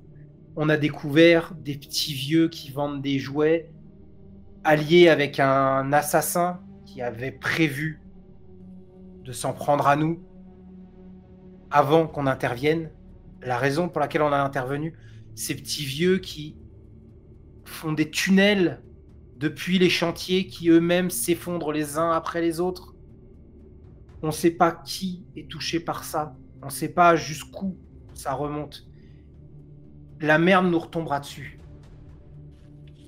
Vous n'aurez pas le choix. La merde ne vous retombera pas dessus elle me retombera dessus. Faites-la retomber sur nous, c'est pas grave. Mais laissez-nous terminer ça. Il donne un énorme coup sur la table. Ce n'est pas comme ça que fonctionnent les choses, Primar. Comprenez une chose. Même si les deux vieillots que vous avez coffrés sont effectivement à la base de ces tunnels qui ont l'air absolument dantesques et qui ont l'air de les prédater de pas mal de temps, de ce que j'ai pu comprendre, euh, même s'ils sont liés à ça, le simple fait que ce soit de cette façon-là que les choses se soient passées, fait qu'avant la fin de la matinée, ils vont repartir sans problème. Vice de forme, monsieur Primard. Vous n'avez rien changé, à part créer de la panique générale dans une ville qui est déjà paniquée. Vous découvrez de nouvelles pistes, qui mènent à quoi? À de nouvelles questions encore plus nébuleuses et encore plus bizarres les unes que les autres. Un tunnel à proximité d'une zone de travaux, c'est du jamais vu. Voyons, comprenez-moi. Découvrez beaucoup de choses, mais au bout d'un moment, je suis obligé de me poser la question. Est-ce que vous ne trouvez pas quelque chose parce que vous cherchez quelque chose? On n'aurait pas soulevé autant de cadavres si c'était le cas. Quel cadavre avez-vous soulevé récemment? Vous n'avez qu'à aller visiter le magasin de jouets. Dans les tunnels, il y a encore un autre cadavre. Un ouvrier qui était dans un tunnel pendant la période de construction et qui s'est éboulé suite à un problème. Vous vous mettez des œillères, commissaire. Vous vous mettez des œillères depuis le début. C'est quoi? Je vais prendre mon badge, je vais le jeter sur la table. Si c'est ce que vous voulez. Calme-toi, Hector. Vous croyez que j'ai envie d'en arriver à ces extrémités-là? Non, commissaire, je, je me doute que non. Mais à l'heure actuelle, c'est votre ville qui est en train d'exploser. C'est nous qui déterrons la merde depuis le début. Et mon frère a été blessé à cause de ces conneries. Il aurait pu y laisser la vie deux fois. Vous avez perdu un homme qui est maintenant tétrapégique. Qu'est-ce que vous attendez?